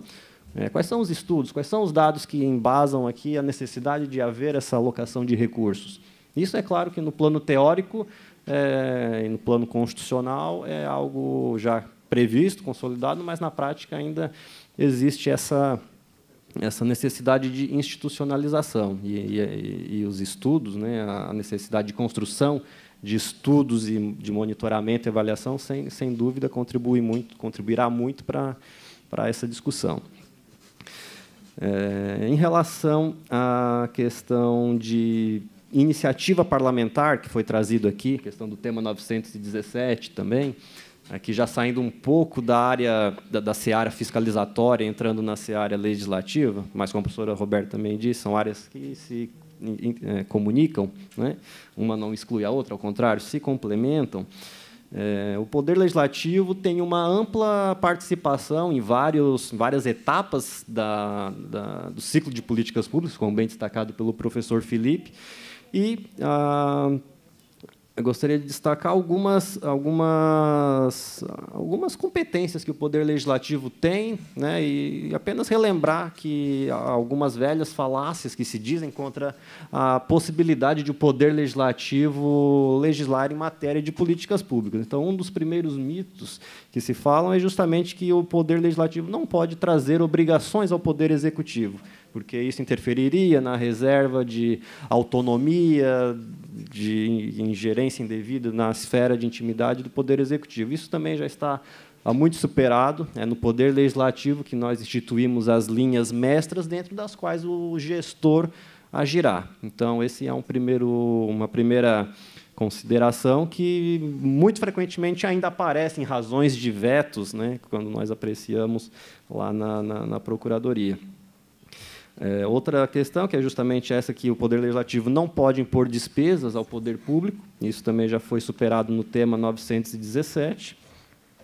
E, por fim, a questão de o Poder Legislativo ele pode, inclusive, trazer ônus à iniciativa privada na questão de formulação de políticas públicas. Por exemplo, nós vimos decisões do, do Supremo Tribunal Federal é, chancelando o direito de meia entrada, por exemplo a determinados grupos, né, para favorecer aqui é, valores constitucionais de, de apoio à cultura, ao desporto, etc. Então, nós podemos ver que o Poder Legislativo possui uma ampla possibilidade de participação em políticas públicas, tanto na elaboração legislativa, né, é, em todos esses aspectos que, que eu mencionei, que os colegas aqui também já mencionaram, e na própria questão de fiscalização, é, avaliação e monitoramento dessas políticas públicas. Então, são questões que estão se inserindo na pauta, né, apesar de só em 2021 ter vindo expressamente para a Constituição, é algo que há muito tempo se discute, avaliação de políticas públicas, e agora nós, no direito, não, não temos mais desculpas, né, professora Roberto professor Felipe, para dizer que estamos fora dessa discussão. Agora, a própria Constituição já nos convoca a, a, a dar a nossa contribuição, enquanto operadores do direito, nessa discussão. E só para ter, só para concluir, a, a participação da procuradoria, da advocacia, do poder legislativo na, na, atividade legislativa, eu considero muito importante, né, isso eu já conversava há muito tempo com, com o nosso presidente Ricardo, né, Ricardo, a importância de nós estarmos inseridos no processo legislativo é muito importante. Algumas casas isso é segregado, como na, na, Câmara, no Senado, a consultoria acaba ficando mais envolvida nessa parte de, de consultoria propriamente dita na atividade legislativa, mas nos estados, na medida do possível, eu acredito que seja importante a, a, a, atribuição da Procuradoria de estar mais diretamente envolvida na questão legislativa, tanto na, na elaboração como na apreciação, na realização de, de assessoramento às comissões, né, porque ali nós temos oportunidade de confeccionar, vamos dizer assim, a política pública, a lei que, que vai, a proposição legislativa que vai dar nascedor àquela política pública, né, e ter condições de avaliar aquela política pública depois né, mais de perto. Então, são basicamente essas as contribuições. Já recebi uma intimação aqui também. Vou dar por encerrada a minha contribuição e colocar-me à disposição aqui dos demais na, da mesa e demais participantes. Obrigado.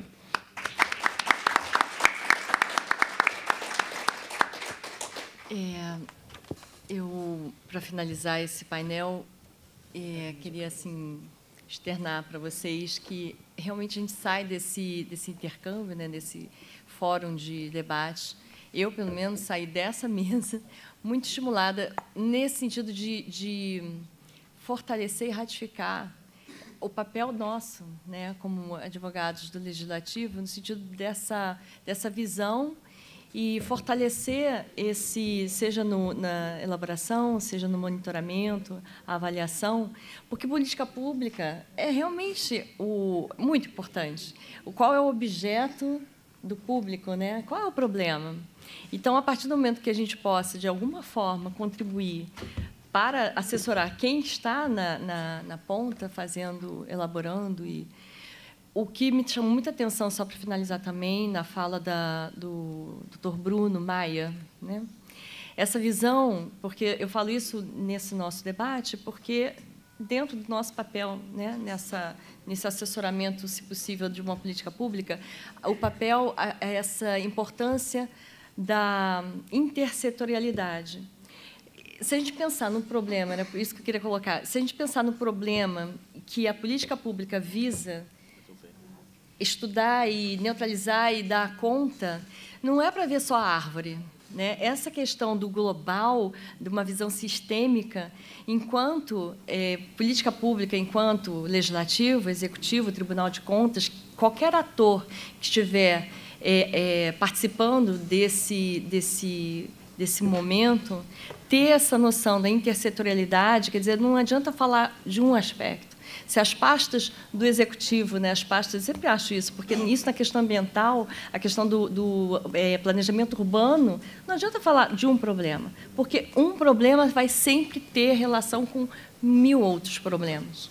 Então, uma política pública não pode ser só ambiental.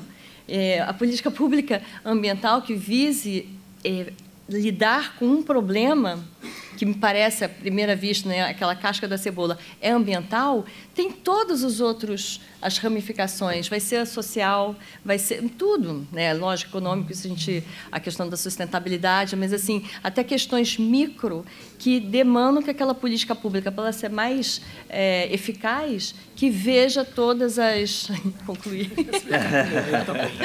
então, desculpem, é porque realmente o debate é muito empolgante. Então, está finalizado. Encerro aqui o dispositivo que fala, o painel. Obrigada. Neste momento, será entregue pela procuradora Denise Ocada aos painelistas o certificado de participação desse congresso. Primeiro agraciado, o doutor Felipe Fonte.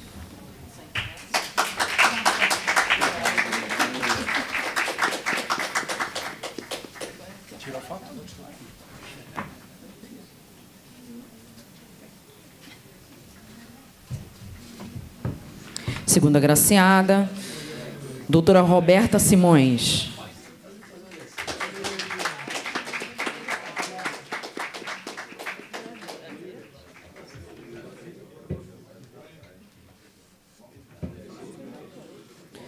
O último agraciado, o doutor Eduardo Henrique Lolli.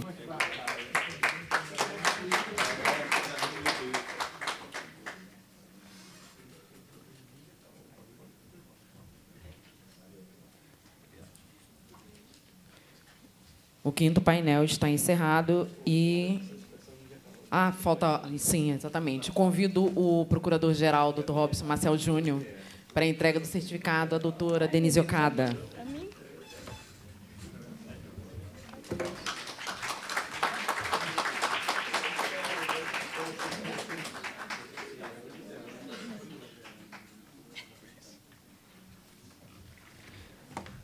Senhoras e senhores, neste momento está desfeito o dispositivo do quinto painel.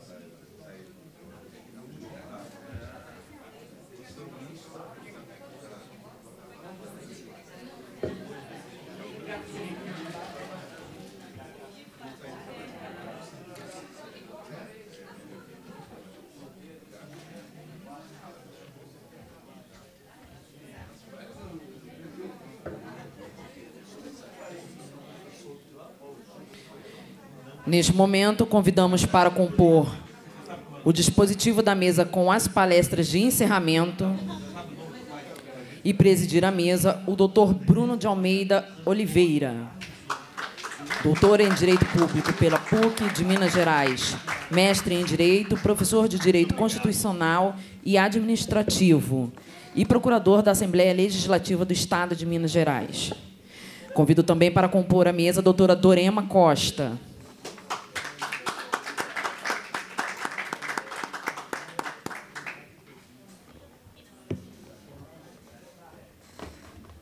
Convido para compor a mesa o doutor João Carlos Souto.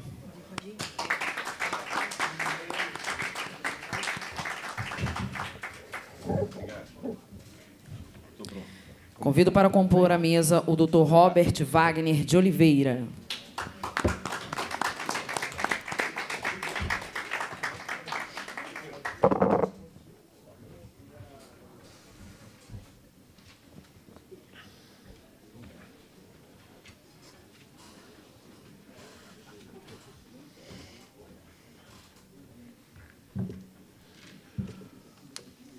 Ah, você trouxe para mim.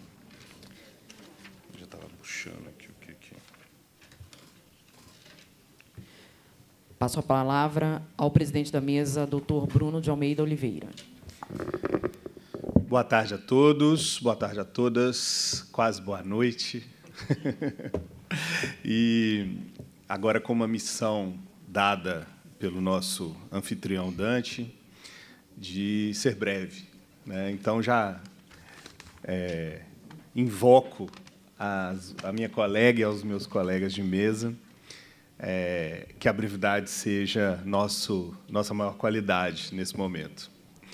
É, tendo em vista que teremos um encerramento oficial e tem o horário de funcionamento da casa.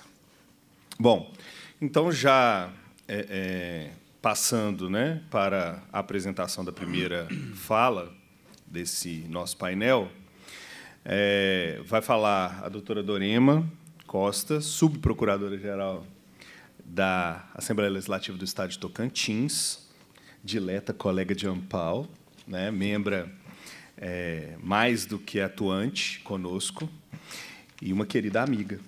Né? Dorema vai falar para nós sobre as novas fronteiras da atuação judicial do Poder Legislativo. Doutora, a palavra está com a senhora. Muito obrigada. Boa tarde a todos. Ah, em primeiro lugar, eu gostaria muito de parabenizar a organização do evento, ah, o conteúdo programático de altíssimo nível. Eu acho que a gente cresce a cada evento, né, doutor Bruno? E esse evento, com certeza, vai ficar marcado em nossas memórias por muitos anos pela, pelo dinamismo, pelo conteúdo e pela organização. Muito obrigada, agradeço pelo convite. Né? Fiquei muito honrada com o convite, doutor. E eu queria ser breve também. É, o que me foi proposto como, como tema, as novas fronteiras da atuação judicial do Poder Legislativo e da Procuradoria Legislativa. Né? Estamos aqui hoje é, inaugurando um debate em que se faz a observação que nós trazemos é em relação à questão da, da atuação do, das procuradorias fora da ADI, fora do MS, fora das ações que são as triviais da nossa atividade. Temos trouxemos aqui hoje a questão do controle externo, trouxemos hoje aqui hoje a questão da, do controle das políticas públicas, e, diante de tudo isso, eu gostaria de trazer um tema novo que se chama as ações civis públicas. Nós temos que nos debruçar sobre essas ações. O Poder Legislativo ele tem diversos mecanismos de controle, internos e externos. E a ação civil pública tem sido um controle externo esquecido, não trabalhado, não desenvolvido internamente.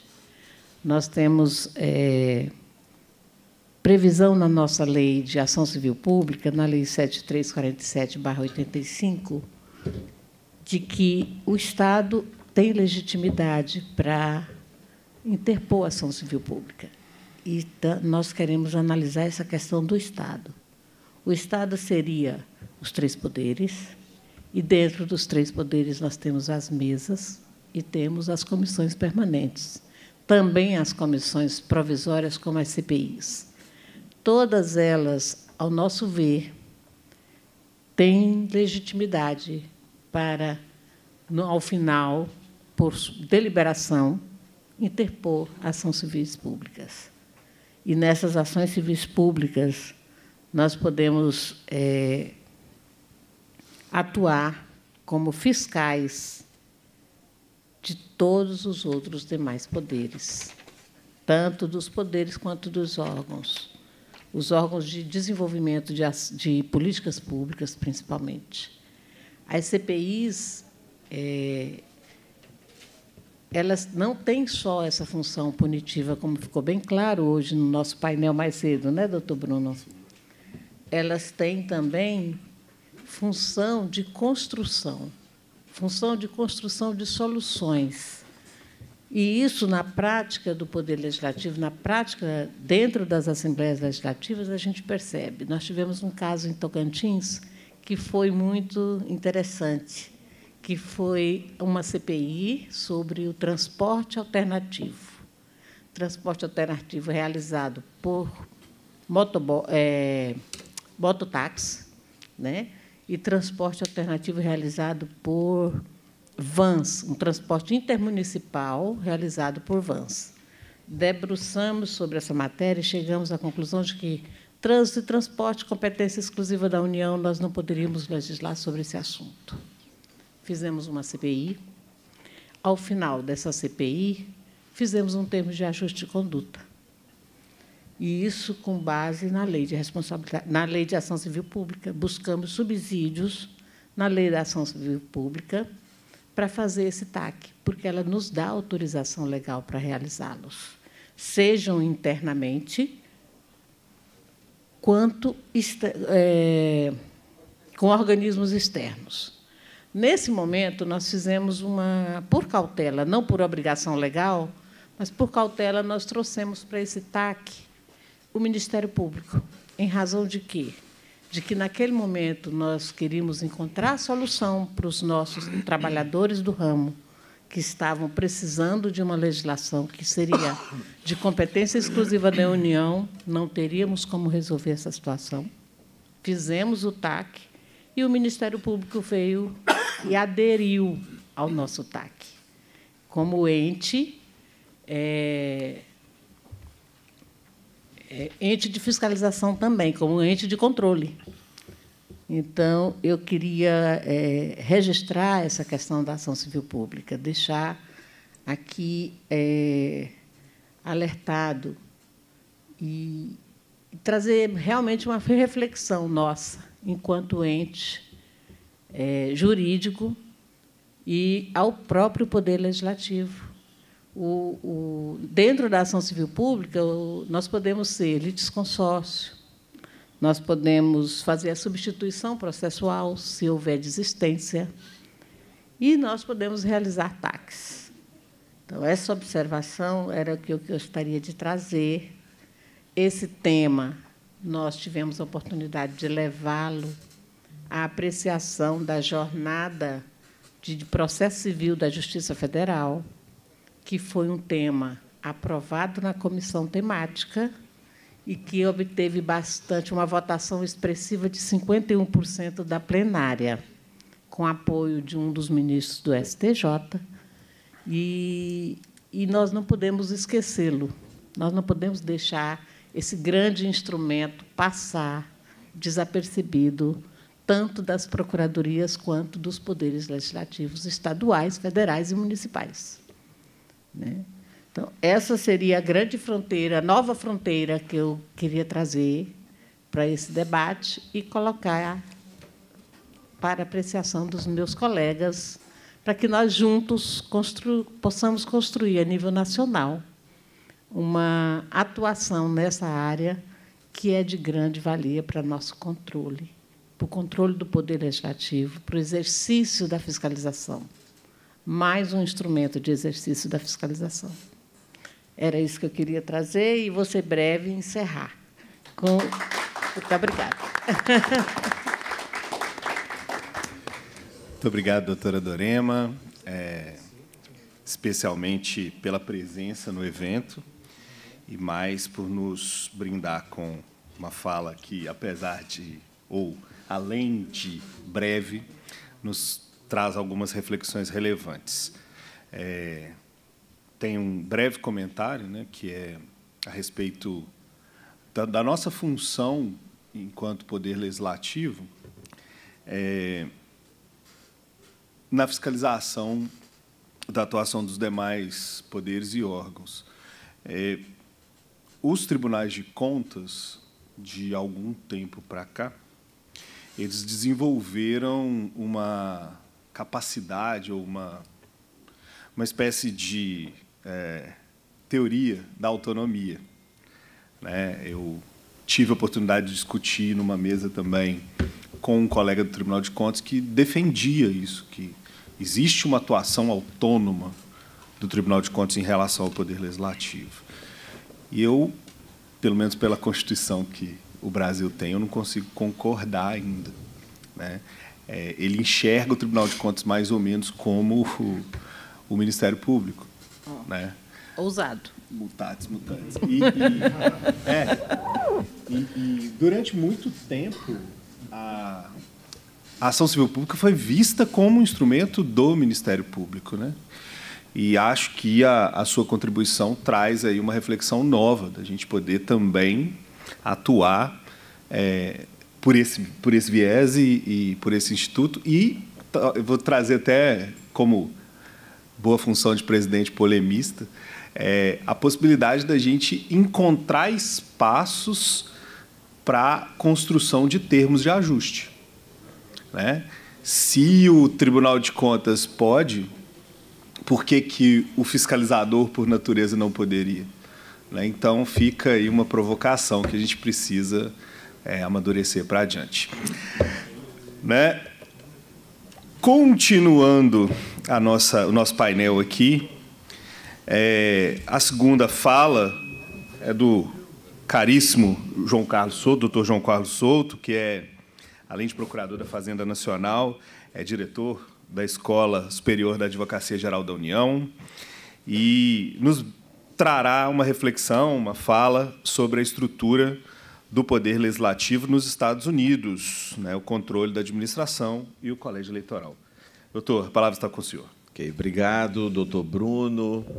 É, quero agradecer o convite do nosso procurador-geral, doutor Robson. É uma honra estar aqui na Casa Legislativa, uma das mais antigas do país, uma das mais importantes, né? que herdou um prédio de arquitetura admirável e de história muito mais ainda, né? que é o Palácio Tiradentes. É, é, o doutor Robson me pediu para falar, tecer algumas considerações sobre o legislativo nos Estados Unidos. Creio que para, quem sabe, é, aproveitar algumas das, é, digamos assim, inovações ou características da, do legislativo naquele poder.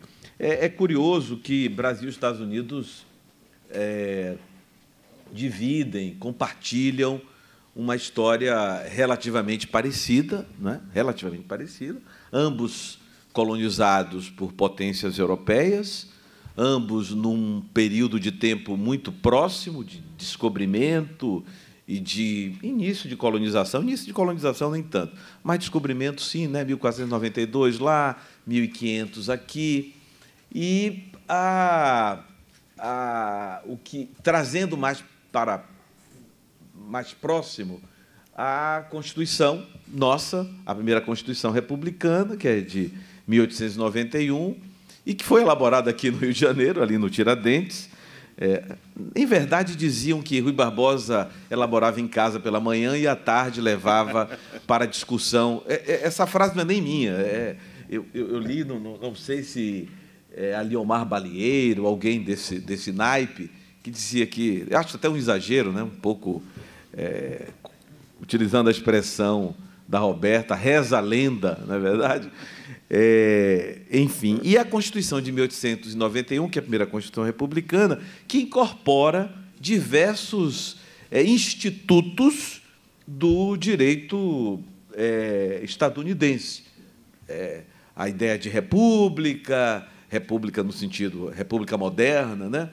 É, a ideia de um de um poder legislativo bicameral, mas aí você pode dizer, não, mas bicameral já tinha antes e já tinha na Inglaterra desde priscas eras, mas uma ideia de um sistema bicameral federativo que é genuinamente é, estadunidense, que é genuinamente norte-americano, na medida em que é, foi como que uma rebelião, entre aspas, dos, do, das, dos estados pequenos, Rhode Island, Delaware, Connecticut, que disseram alto lá, né? alto lá, é, não aceitamos um legislativo unicameral, é, porque no legislativo unicameral os estados menores serão esmagados pelos estados maiores, como que Rio de Janeiro, São Paulo, Minas Gerais, Bahia e Rio Grande do Sul Né? Se fosse um legislativo unicameral, iria esmagar os demais estados, porque são os estados mais populosos. Então, a ideia é traçar esse paralelo que, como eu disse, tem é, bastante convergência, os países convergem é, em vários aspectos, especialmente na questão do que diz respeito ao direito público. Eu ia falando da Constituição de 1891, falei da República, falei do Legislativo bicameral, falta falar da Suprema Corte, não é? com a atribuição, entre outras, de é, dar um sentido único ao direito nacional, a interpretar o direito nacional, mas creio que para por aí. O legislativo americano, o legislativo americano, não, perdão, o legislativo nos Estados Unidos, desde então, é, é, eu posso dizer que, em alguns aspectos, tomou rumo diferente, né? tomou um rumo. É, e aqui eu faço algumas comparações. Não tem nada, vou dizer algumas platitudes, para alguns, para outros, talvez novidades, mas, é, por exemplo, nós temos a ideia de Senado representando os estados. E aí é uma questão curiosa, é, eu, eu, não sei se é relevante, a, a, a, doutora Roberta poderá dizer, o doutor Felipe, como estudiosos, é, mas vejam que o Constituinte de 88, repetindo os, a, é, é, normas constitucionais anteriores, diz assim: a Câmara representa o povo, e o Senado representa os estados. Dá uma ideia para o primeiro cidadão de primeiro ano, Dante, dá uma ideia, fica imaginando, então o Senado não é eleito pelo povo, porque a Câmara representa o povo e o Senado representa os estados. Dá uma essa ideia, né? Quando na verdade é, no, nos Estados Unidos a, o Senado até o início do século XX, não era eleito pelo povo. O Senado era eleito pelas assembleias legislativas. É como se a Assembleia Legislativa do Estado do Rio de Janeiro elegesse os três senadores, Assembleia de São Paulo, etc, etc. Então, né, a partir do início do século XX, tiraram isso, mas continuou a tradição e a nomenclatura permaneceu. Né? Então, lá, o Senado elege dois, aqui o Senado, é, os estados, perdão, elegem dois lá, elegem três senadores aqui. Eles têm 100 senadores lá, com 50 estados. É, é, aqui nós temos os 81 senadores eleitos né, por cada três por cada estado e pelo Distrito Federal. Aí, falando de Distrito Federal, o Distrito Federal nos Estados Unidos não elege ninguém a não ser um representante que tem direito à voz, que é a mesma situação de Porto Rico. Porto Rico, que é um Estado associado, é o 51 não tem ninguém no Senado, mas tem um representante na House of Representatives, na Casa dos Representantes, e ele tem direito à voz, mas não tem direito a voto. É, outra questão curiosa diz respeito à a outra questão curiosa diz respeito à Câmara dos Deputados. A Câmara dos Deputados dos Estados Unidos, é, o, o quantitativo por Estado é fixado pela legislação, vamos dizer, ordinária. Né? É a mesma situação da Suprema Corte. O quantitativo de membros da Suprema Corte não está previsto na Constituição americana, que, que, quem estabelece a legislação ordinária, diferentemente da nossa. Aliás, um dado curioso aqui, eu não posso resistir de, do registro, é que nos EUA, eu sei que eu estou falando de legislativo, mas não custa nada, nos Estados Unidos, há o único tribunal mencionado na Constituição é a Suprema Corte. Nenhum outro tribunal é mencionado na Suprema Corte, na, na, na Constituição. Os demais tribunais são estabelecidos pela legislação ordinária. A legislação ordinária que estabelece. Aqui, totalmente diferente, nós temos, né? E, evidentemente, que são constituições de épocas, de momentos e de propósitos diferentes. É, mas, voltando, a, a Câmara Federal dos Estados Unidos tem um quantitativo proporcionalmente inferior ao brasileiro. Aqui, como é que está aqui no Brasil? Cada estado elege, no mínimo, oito, e, no máximo, 70. São Paulo tem 70 há muito tempo, eu até escrevi um artigo no Correio Brasiliense há muito tempo, 98, composição da Câmara e equilíbrio federativo, no, é, justamente fazendo algumas considerações, porque um deputado federal de São Paulo, ex-presidente da Fiesp, que me foge o nome aqui, ele reclamava dos 70.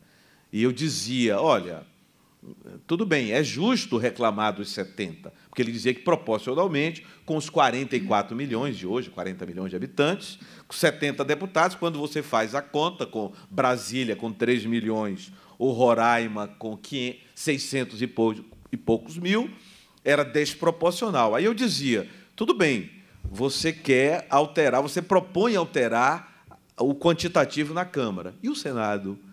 É, se, se é, todos sabemos todos que as leis ordinárias, complementares, leis delegadas, aprovação de medida provisória, etc. e tal, para passar, para se, se tornar é, é, possível de sancionamento, né, vamos dizer assim, ou de veto, precisa passar por uma casa e outra. Se há uma subrepresentatividade na Câmara, e, e Vossa Excelência quer alterar isso, ampliando o número de representantes para o Estado de São Paulo, e o Senado?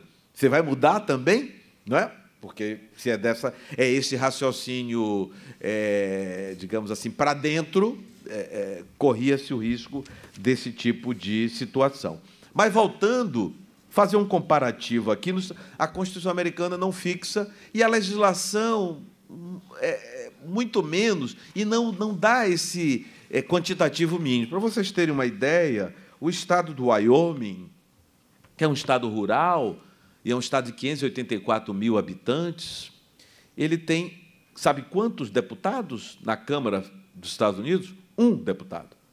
O Wyoming tem um deputado. O, o Havaí, eu não lembro bem, mas deve ter muito pouco, porque é uma população pequena. Roraima tem a mesma população do Wyoming, a mesma não, quer dizer, bem próxima. Roraima tem 680 mil habitantes, alguma coisa desse tipo, tem oito deputados. Eu não vou nem falar o Distrito Federal, o Distrito Federal tem quase 3 milhões de habitantes, 2 milhões e 800 e alguma coisa.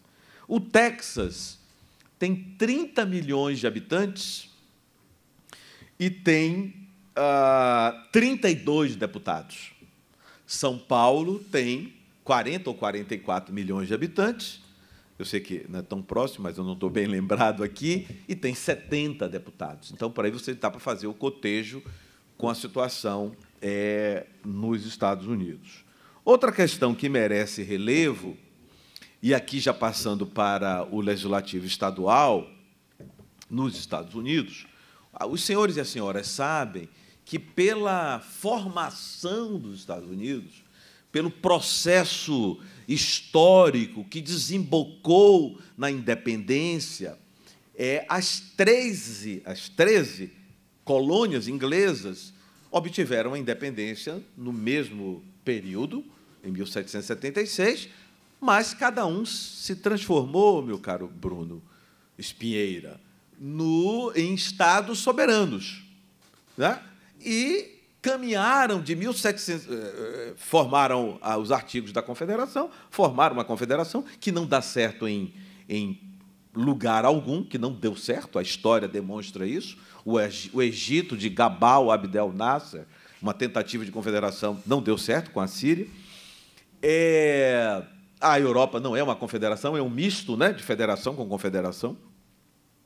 É, esses estados obtêm a independência como estados soberanos e, é, ante a ameaça europeia, que eles anteviam, é, Thomas Jefferson, James Madison, John Adams, os Founding Fathers, os pais fundadores, eles resolvem melhorar os artigos da Confederação e formam uma federação. Há até uma discussão sobre a legitimidade, uma discussão é, acadêmica, né? porque isso nunca influenciou. E é, quando obtiveram uma. A, a, quando formaram os, os, os Estados Unidos como Estado federal, né? o primeiro Estado federal. Você pode objetar que a Suíça foi antes, mas não tem expressividade. Né? A Suíça, não, como Estado federal, não é modelo, não tem amplitude, né? não tem a história da, da, da, da Federação Americana. Eles, evidentemente, como cederam soberania, soberania, mantiveram larga, ampla a autonomia é, estadual. E, dentre elas, a de formar o seu legislativo, além da competência para legislar sobre direito civil, sobre direito penal, sobre direito comercial, mantiveram a, a competência para a formação do legislativo. E, por isso, a, o legislador estadual nos Estados Unidos, dos 50 estados, 49 tem legislativo Câmara Baixa e Câmara Alta. Tem é, o que eles, a, a maioria chamam de, de, House of Representatives, alguns chamam de State Assembly, outros chamam de Assembly, e o Nebraska, que é o único estado que não é bicameral, por escolha própria, chama de legislature, legislativo. Né? É um dado curioso de cada estado americano. E, ainda nesse sentido, nesse cotejo, é, que já estou para é, concluir, para não enfastiá-los mais com essas, é, esses dados, é, ainda nesse caminho, é, como se sabe, os Estados Unidos nunca tiveram, não têm e dificilmente terão, nos próximos 50 anos pelo menos, uma justiça eleitoral a questão, a, a, as eleições são conduzidas, julgadas pelo legislativo. Não nos esqueçamos que o 6 de janeiro se deu, em grande parte, pela tentativa frustrada de Donald J. Trump, Donald John Trump, de convencer o seu vice-presidente, Mike Pence, de não certificar o eleito Donald é, Joe Biden. Né? Então, é, então, uma característica do legislativo, seja federal, seja estadual, de conduzir as eleições, isso está já no, para usar uma, uma, uma, uma, uma expressão da, do século do início do século XX, né, no frontispício da Constituição, o, o, o, o Poder Legislativo, no artigo 1, o Poder Executivo, no artigo 2, e o Poder Judiciário, no artigo 3. Então, é, é, a atribuição do, da, das, das, eleições, da, é, do, do, processo eleitoral, da verificação da, do, do, dos eleitos e não compete ao legislativo, seja o estadual, seja o federal, o federal, perdão. Inclusive as regras de eleição federal fica a cargo de cada estado.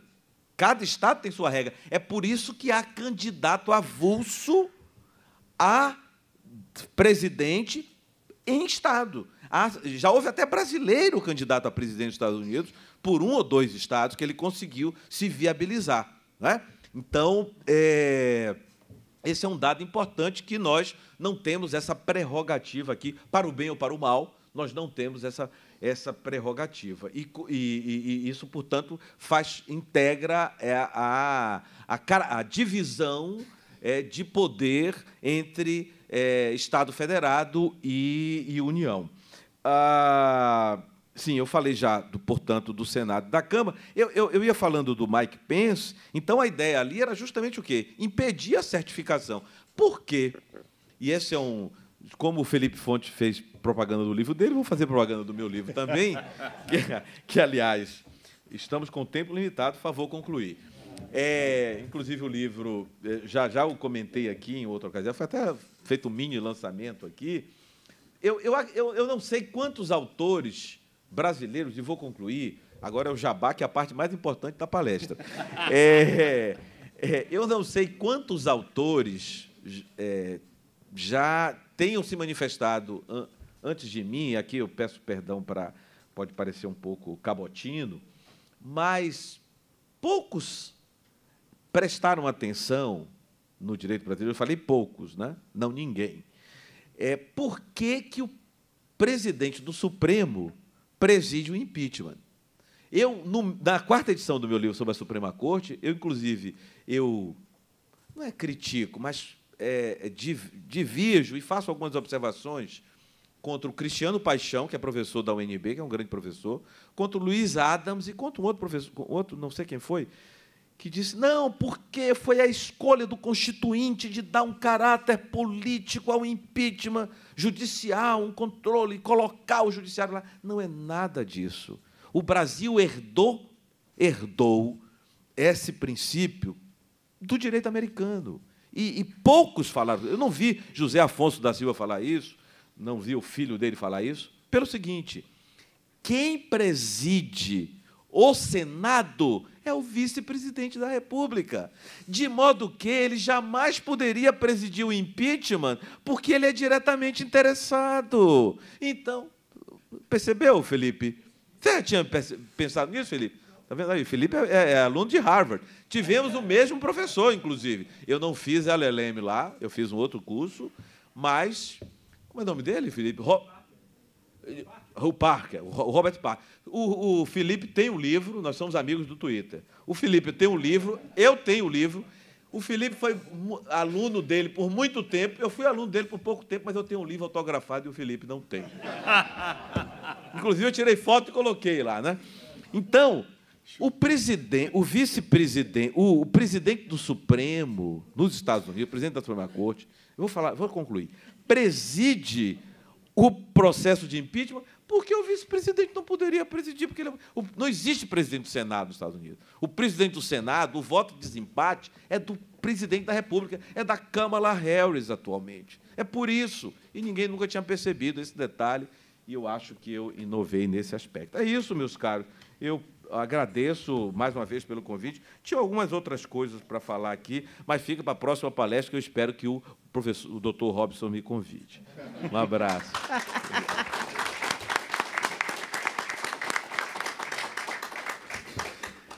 Muito obrigado, doutor João Carlos. É, e eu quero aqui aproveitar para fazer um agradecimento ao cerimonial da Alesc, que é, tira dos ombros do presidente de mesa a indelicadeza de interromper o palestrante. Eu fico aqui me divertindo, né? Porque realmente, muito obrigado, viu, meninas? Vocês são valem ouro.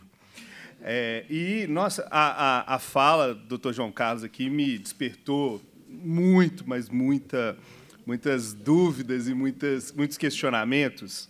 E queria dizer também que eu tenho orgulho de ser amigo da Roberta de Twitter. Mas, enfim, é, eu sou um entusiasta do federalismo, acima de tudo. É, e, infelizmente, me parece que a decisão do Brasil ser federalista lá no final do século XIX não era bem essa, não. Né? É, era meio que um acordo para não deixar a turma dos estados muito chateada com aquele negócio de substituir o rei, enfim. E isso me interessa muito, porque eu acho que até hoje nós não aprendemos a ser federalistas.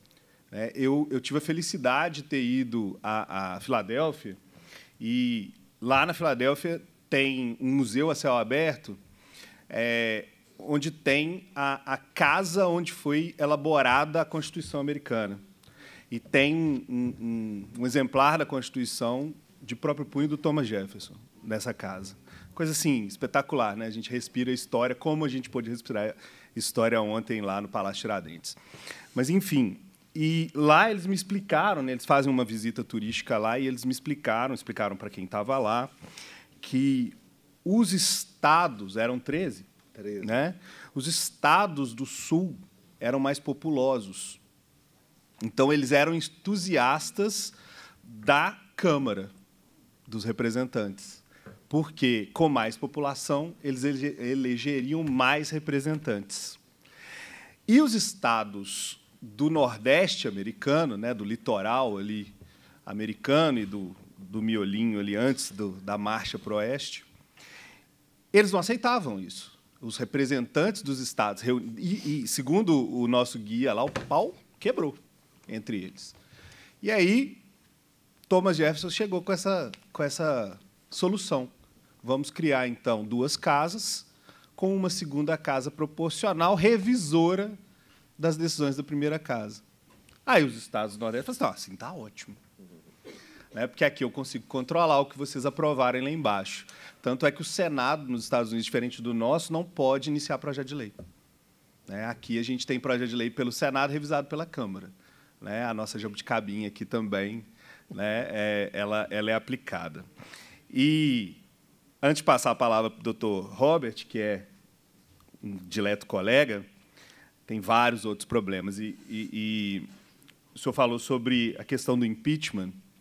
É, acabou de sair, ano passado, um livro chamado Mecanismos Internos do Impeachment. O autor, chamado Bonifácio Andrada, que é descendente do Bonifácio Andrada, Bonifácio Andrada, né? É, doutor pela USP, e, para mim, eu, eu, tive a oportunidade de, de, de ler esse livro. Para mim, é o melhor estudo sobre o mecanismo de impeachment no Brasil é, que eu já pude conhecer. E recomendo assim fortemente para quem é, como nós aqui, curioso pelo tema.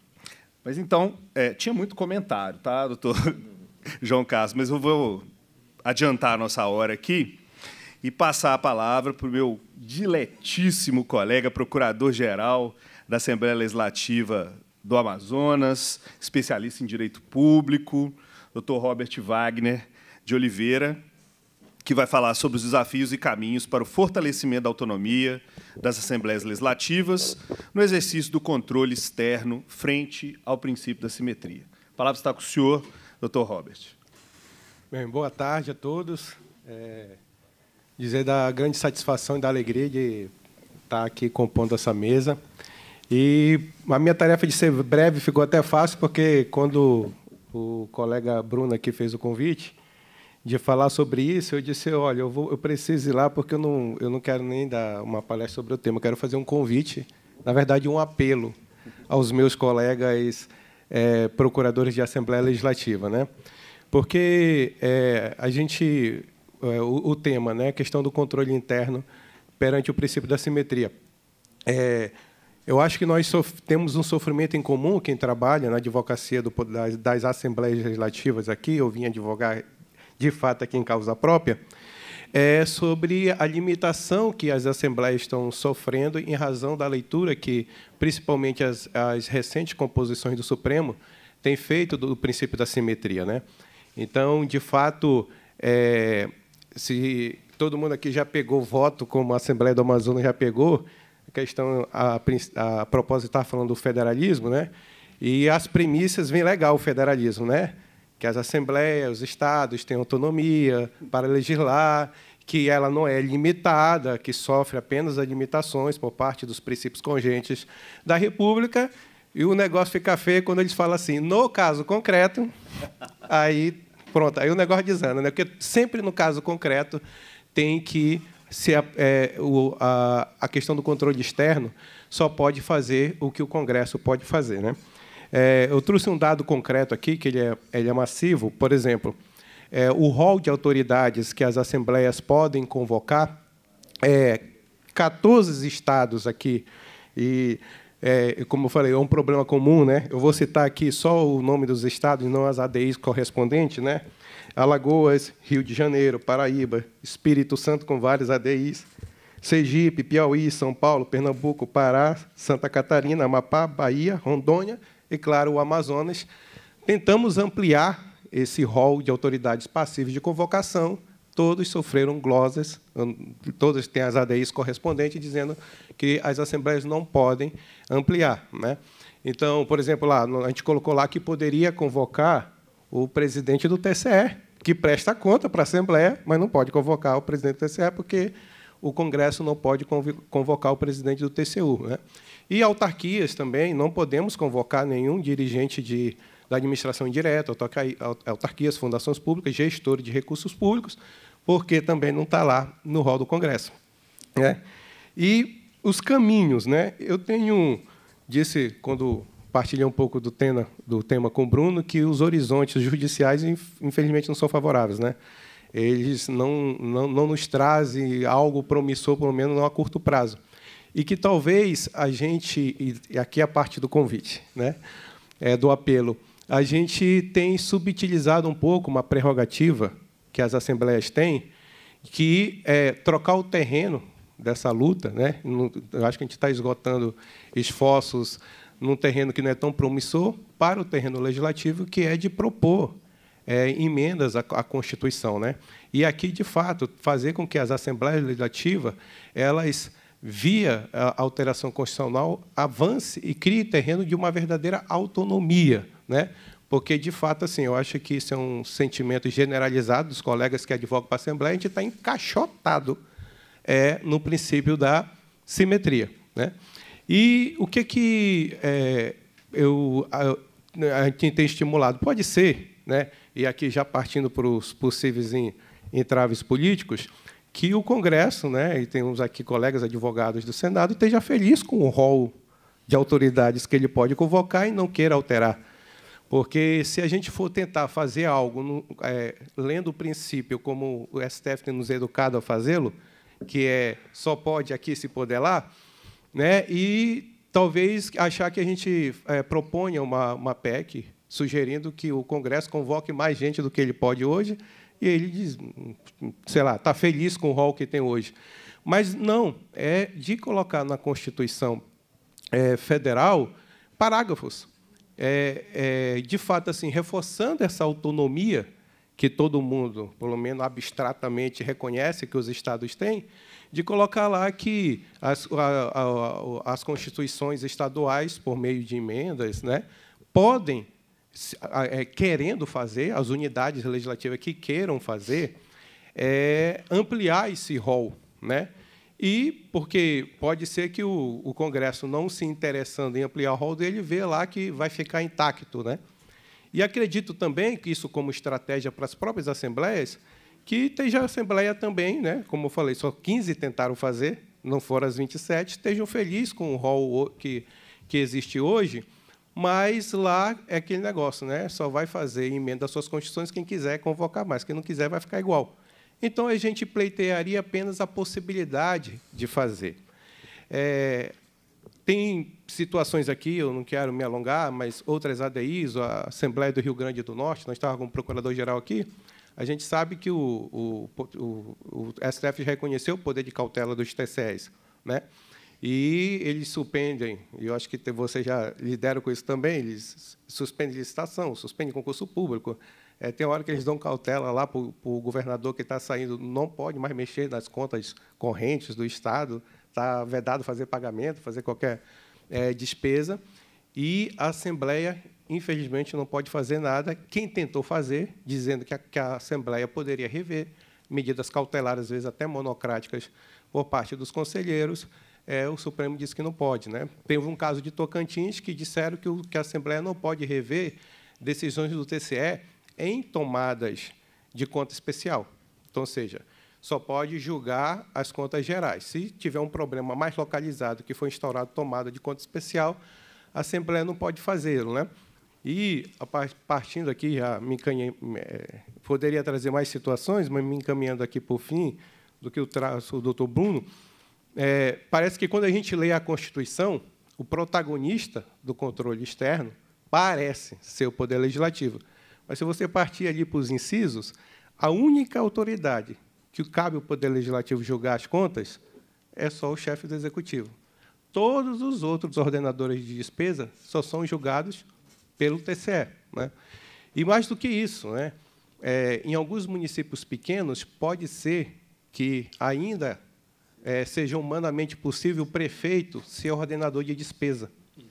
Mas, no caso do Estado, não tem. É humanamente impossível o governador ser ordenador de despesa, porque não tem como, em orçamento de bilhões e bilhões, ele ficar como ordenador de despesa. Isso fica para as secretarias, é uma coisa delegada. Né?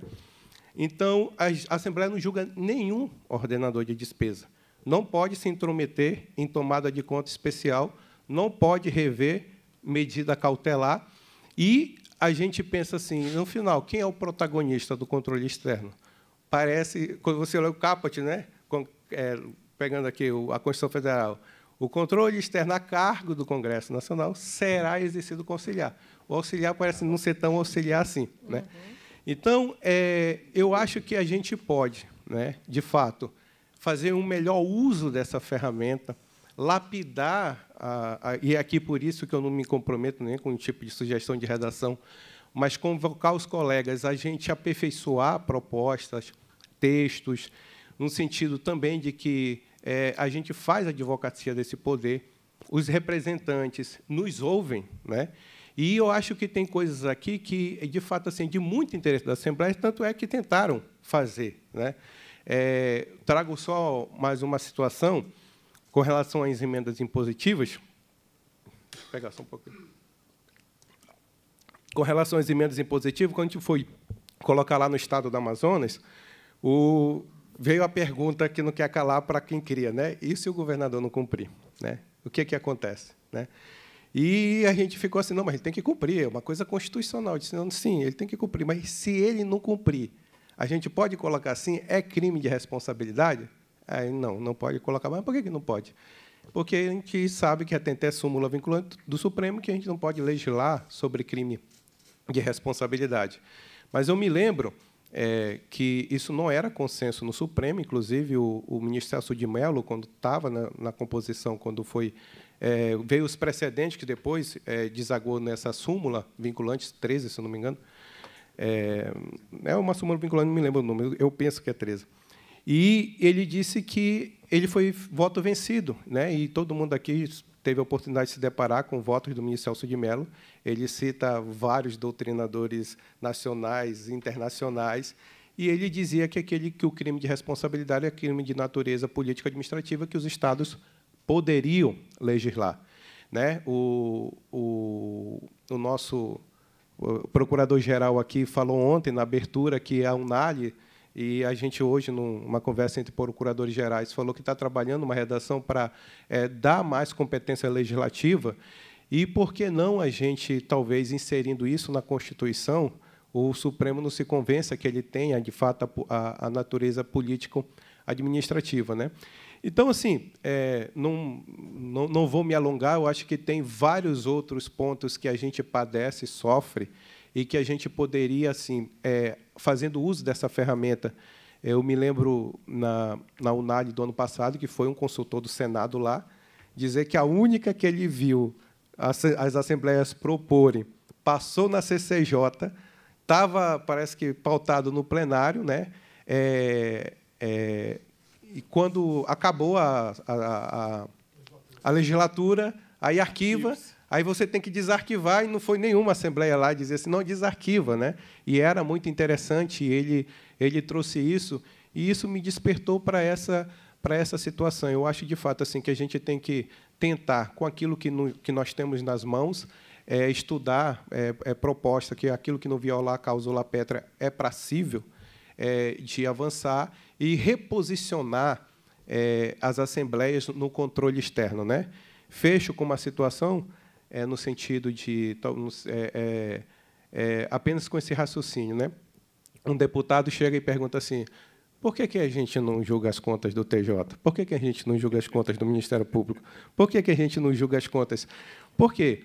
Porque num diálogo entre os institucionais, entre poderes, você reposiciona melhor o diálogo do Poder Legislativo se você tiver mais é, situações. Né?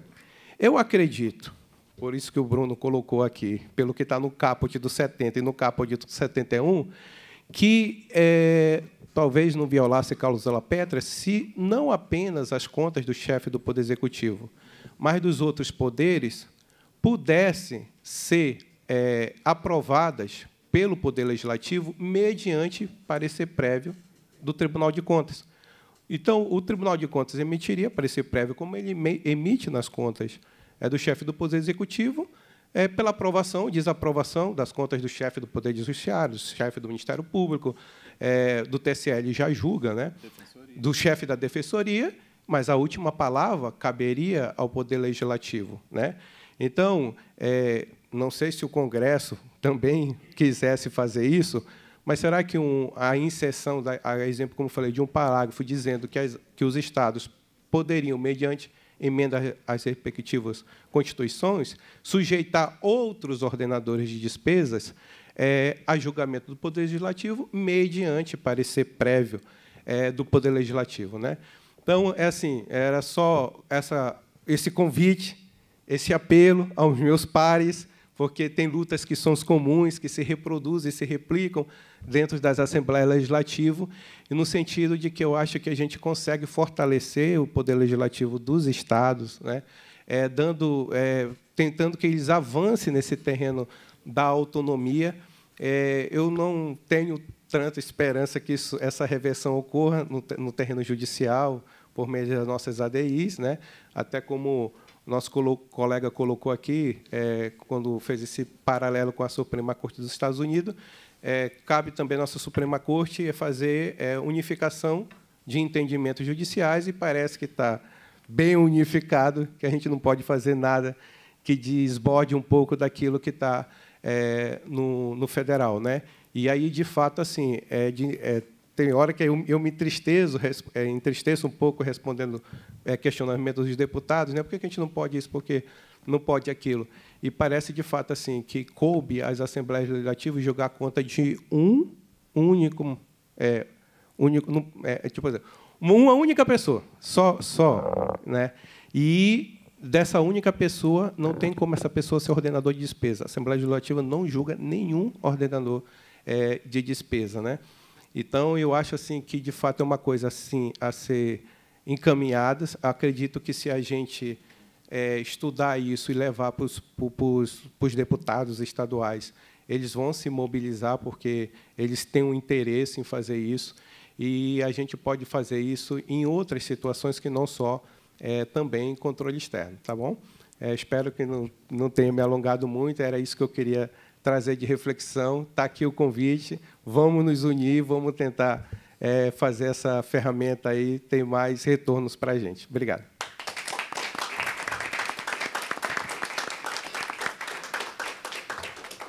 Agradeço ao Dr. Robert, né, cuja fala encaixou bastante com as que o antecederam, né, e também nos leva a pensar, né, e, e vou encerrar esse painel reclamando de um conterrâneo, ministro Sepúlveda Pertence, quando infelizmente criou essa ideia de princípio da simetria. Né? Porque é, ele não está escrito na Constituição, né? a Constituição não induz a simetria, mas é algo criado pela autocontenção do Supremo de eras anteriores à atual composição. Né? Então, quem sabe, com a composição renovada do Supremo, essa história de simetria, essa falácia da simetria, possa se renovar, né? possa, aliás, possa se modificar. Né? Então, com essa reflexão, e acho que esse painel aqui me trouxe muitas boas reflexões. Estou saindo aqui com mais perguntas do que respostas, né? e isso que é bom. É, a gente encerra essa oportunidade. Gente, muito obrigado a todos e seguimos com o nosso evento. Neste momento será entregue pelo Dr. Bruno de Almeida Oliveira o certificado de participação deste congresso à doutora Dorema Costa.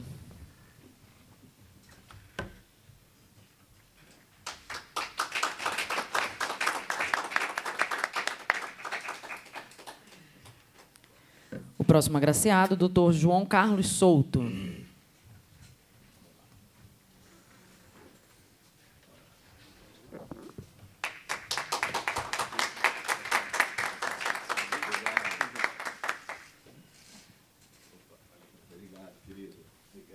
Próximo agraciado, doutor Robert Wagner de Oliveira.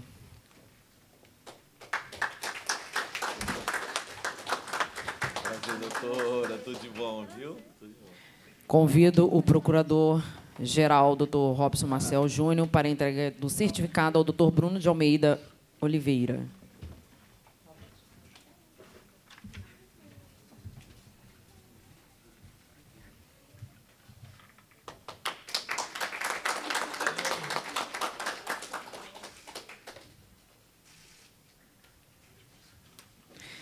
Senhoras e senhores, neste momento será desfeito o último dispositivo.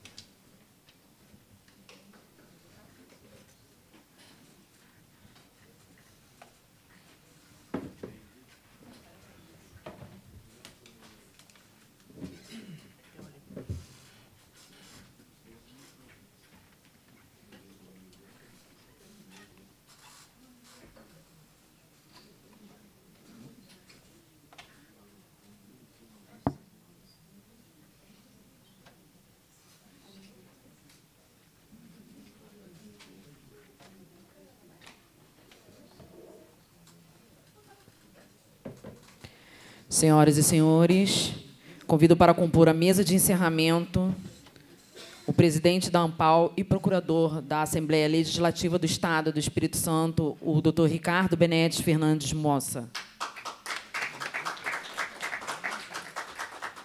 Convido também o procurador-geral da Assembleia Legislativa do Estado do Rio de Janeiro, doutor Robson Marcel Júnior.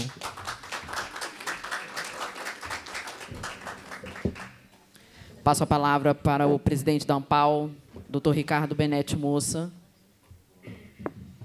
para as considerações finais. Boa tarde, também prometo ser breve, pelo adiantar da hora.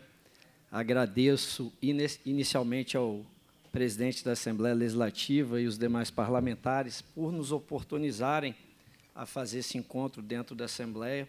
Doutor Robson, eu confesso que é, me surpreendeu o evento, com altíssimo nível.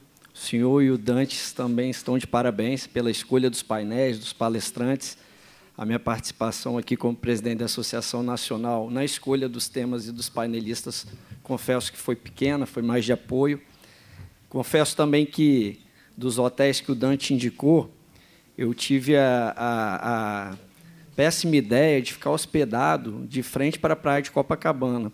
E eu costumo vir para o Rio de Janeiro só turistar, ou para ver o Flamengo jogar no Maracanã, ou para curtir aquela praia maravilhosa. E quando eu estava botando o terno ontem, eu fiquei pensando assim, onde que eu me meti? Eu estou olhando para esse mal, não vou dar um mergulho.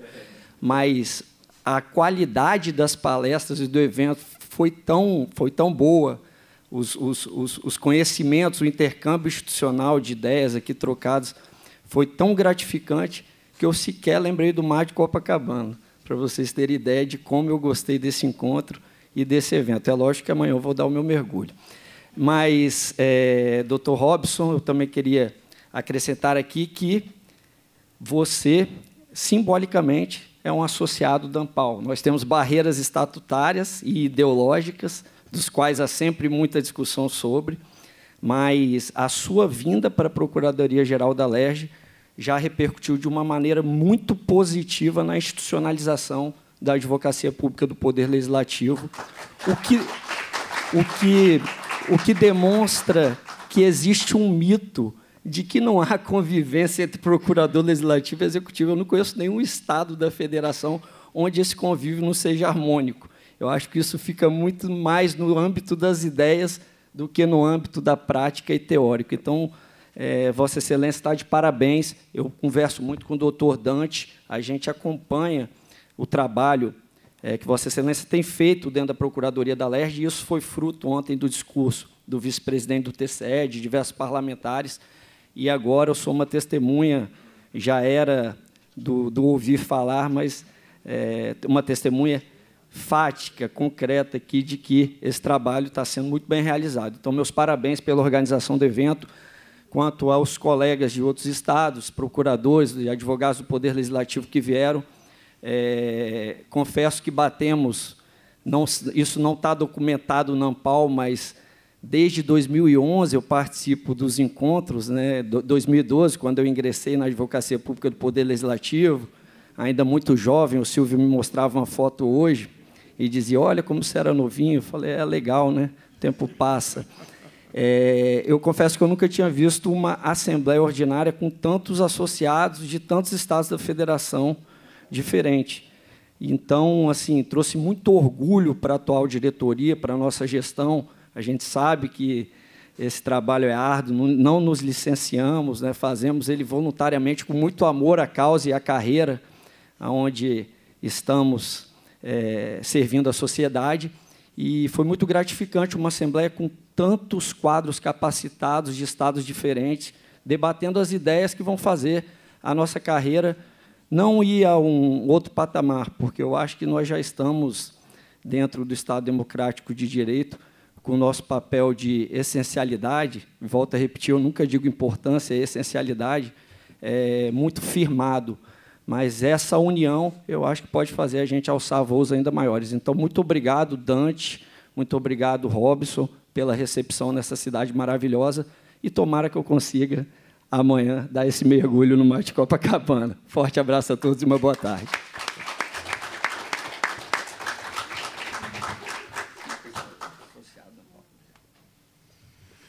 Bom, boa noite já a todos e todas.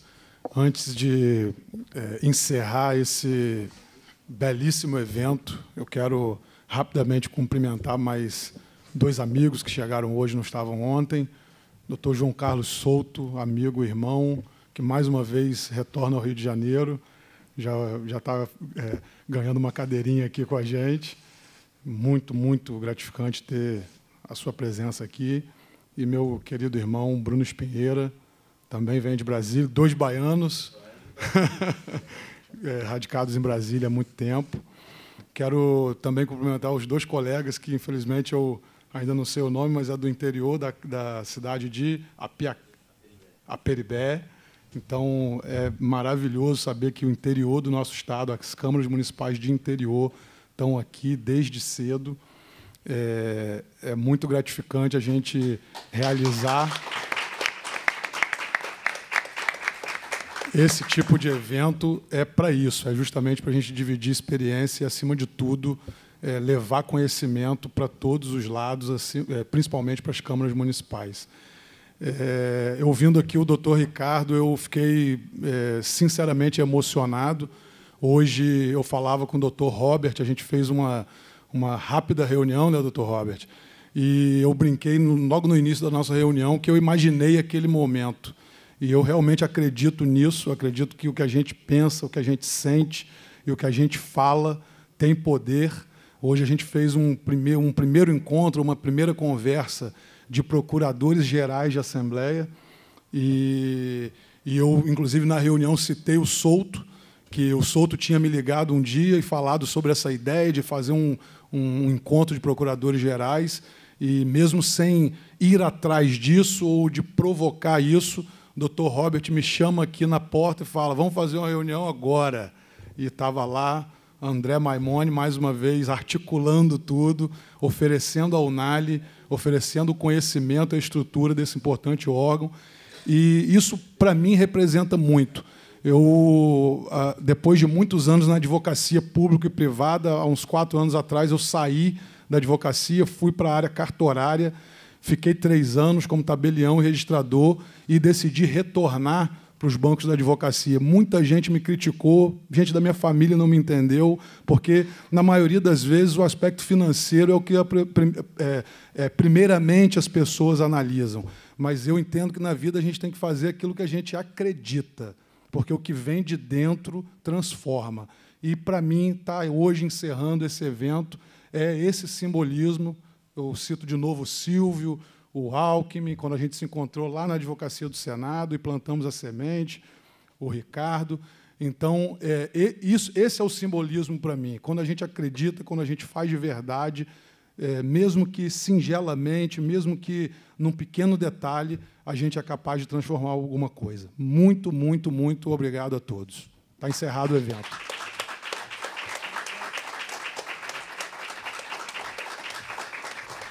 Finalizando, para o encerramento protocolar, eu gostaria de agradecer a presença de todos. Também não posso deixar de agradecer aos nossos servidores que contribuíram para que esse evento acontecesse, e, em especial, eu quero fazer um agradecimento muito, muito, muito especial ao nosso presidente Rodrigo Bacelar. Eu tenho que deixar isso aqui muito destacado e muito registrado. Um advogado, um homem com um, uma vida pública muito atarefada, mas que jamais tem medido esforços para abrir espaço para que essa casa seja um ambiente de discussão técnica, de aprimoramento profissional, de debate intelectual. Então, eu finalizo deixando registrado. Presidente Rodrigo Bacelar, eu sei que o senhor não está aqui agora conosco, mas as gravações vão é, registrar esse momento. Muitíssimo obrigado. O senhor é muito responsável por tudo isso.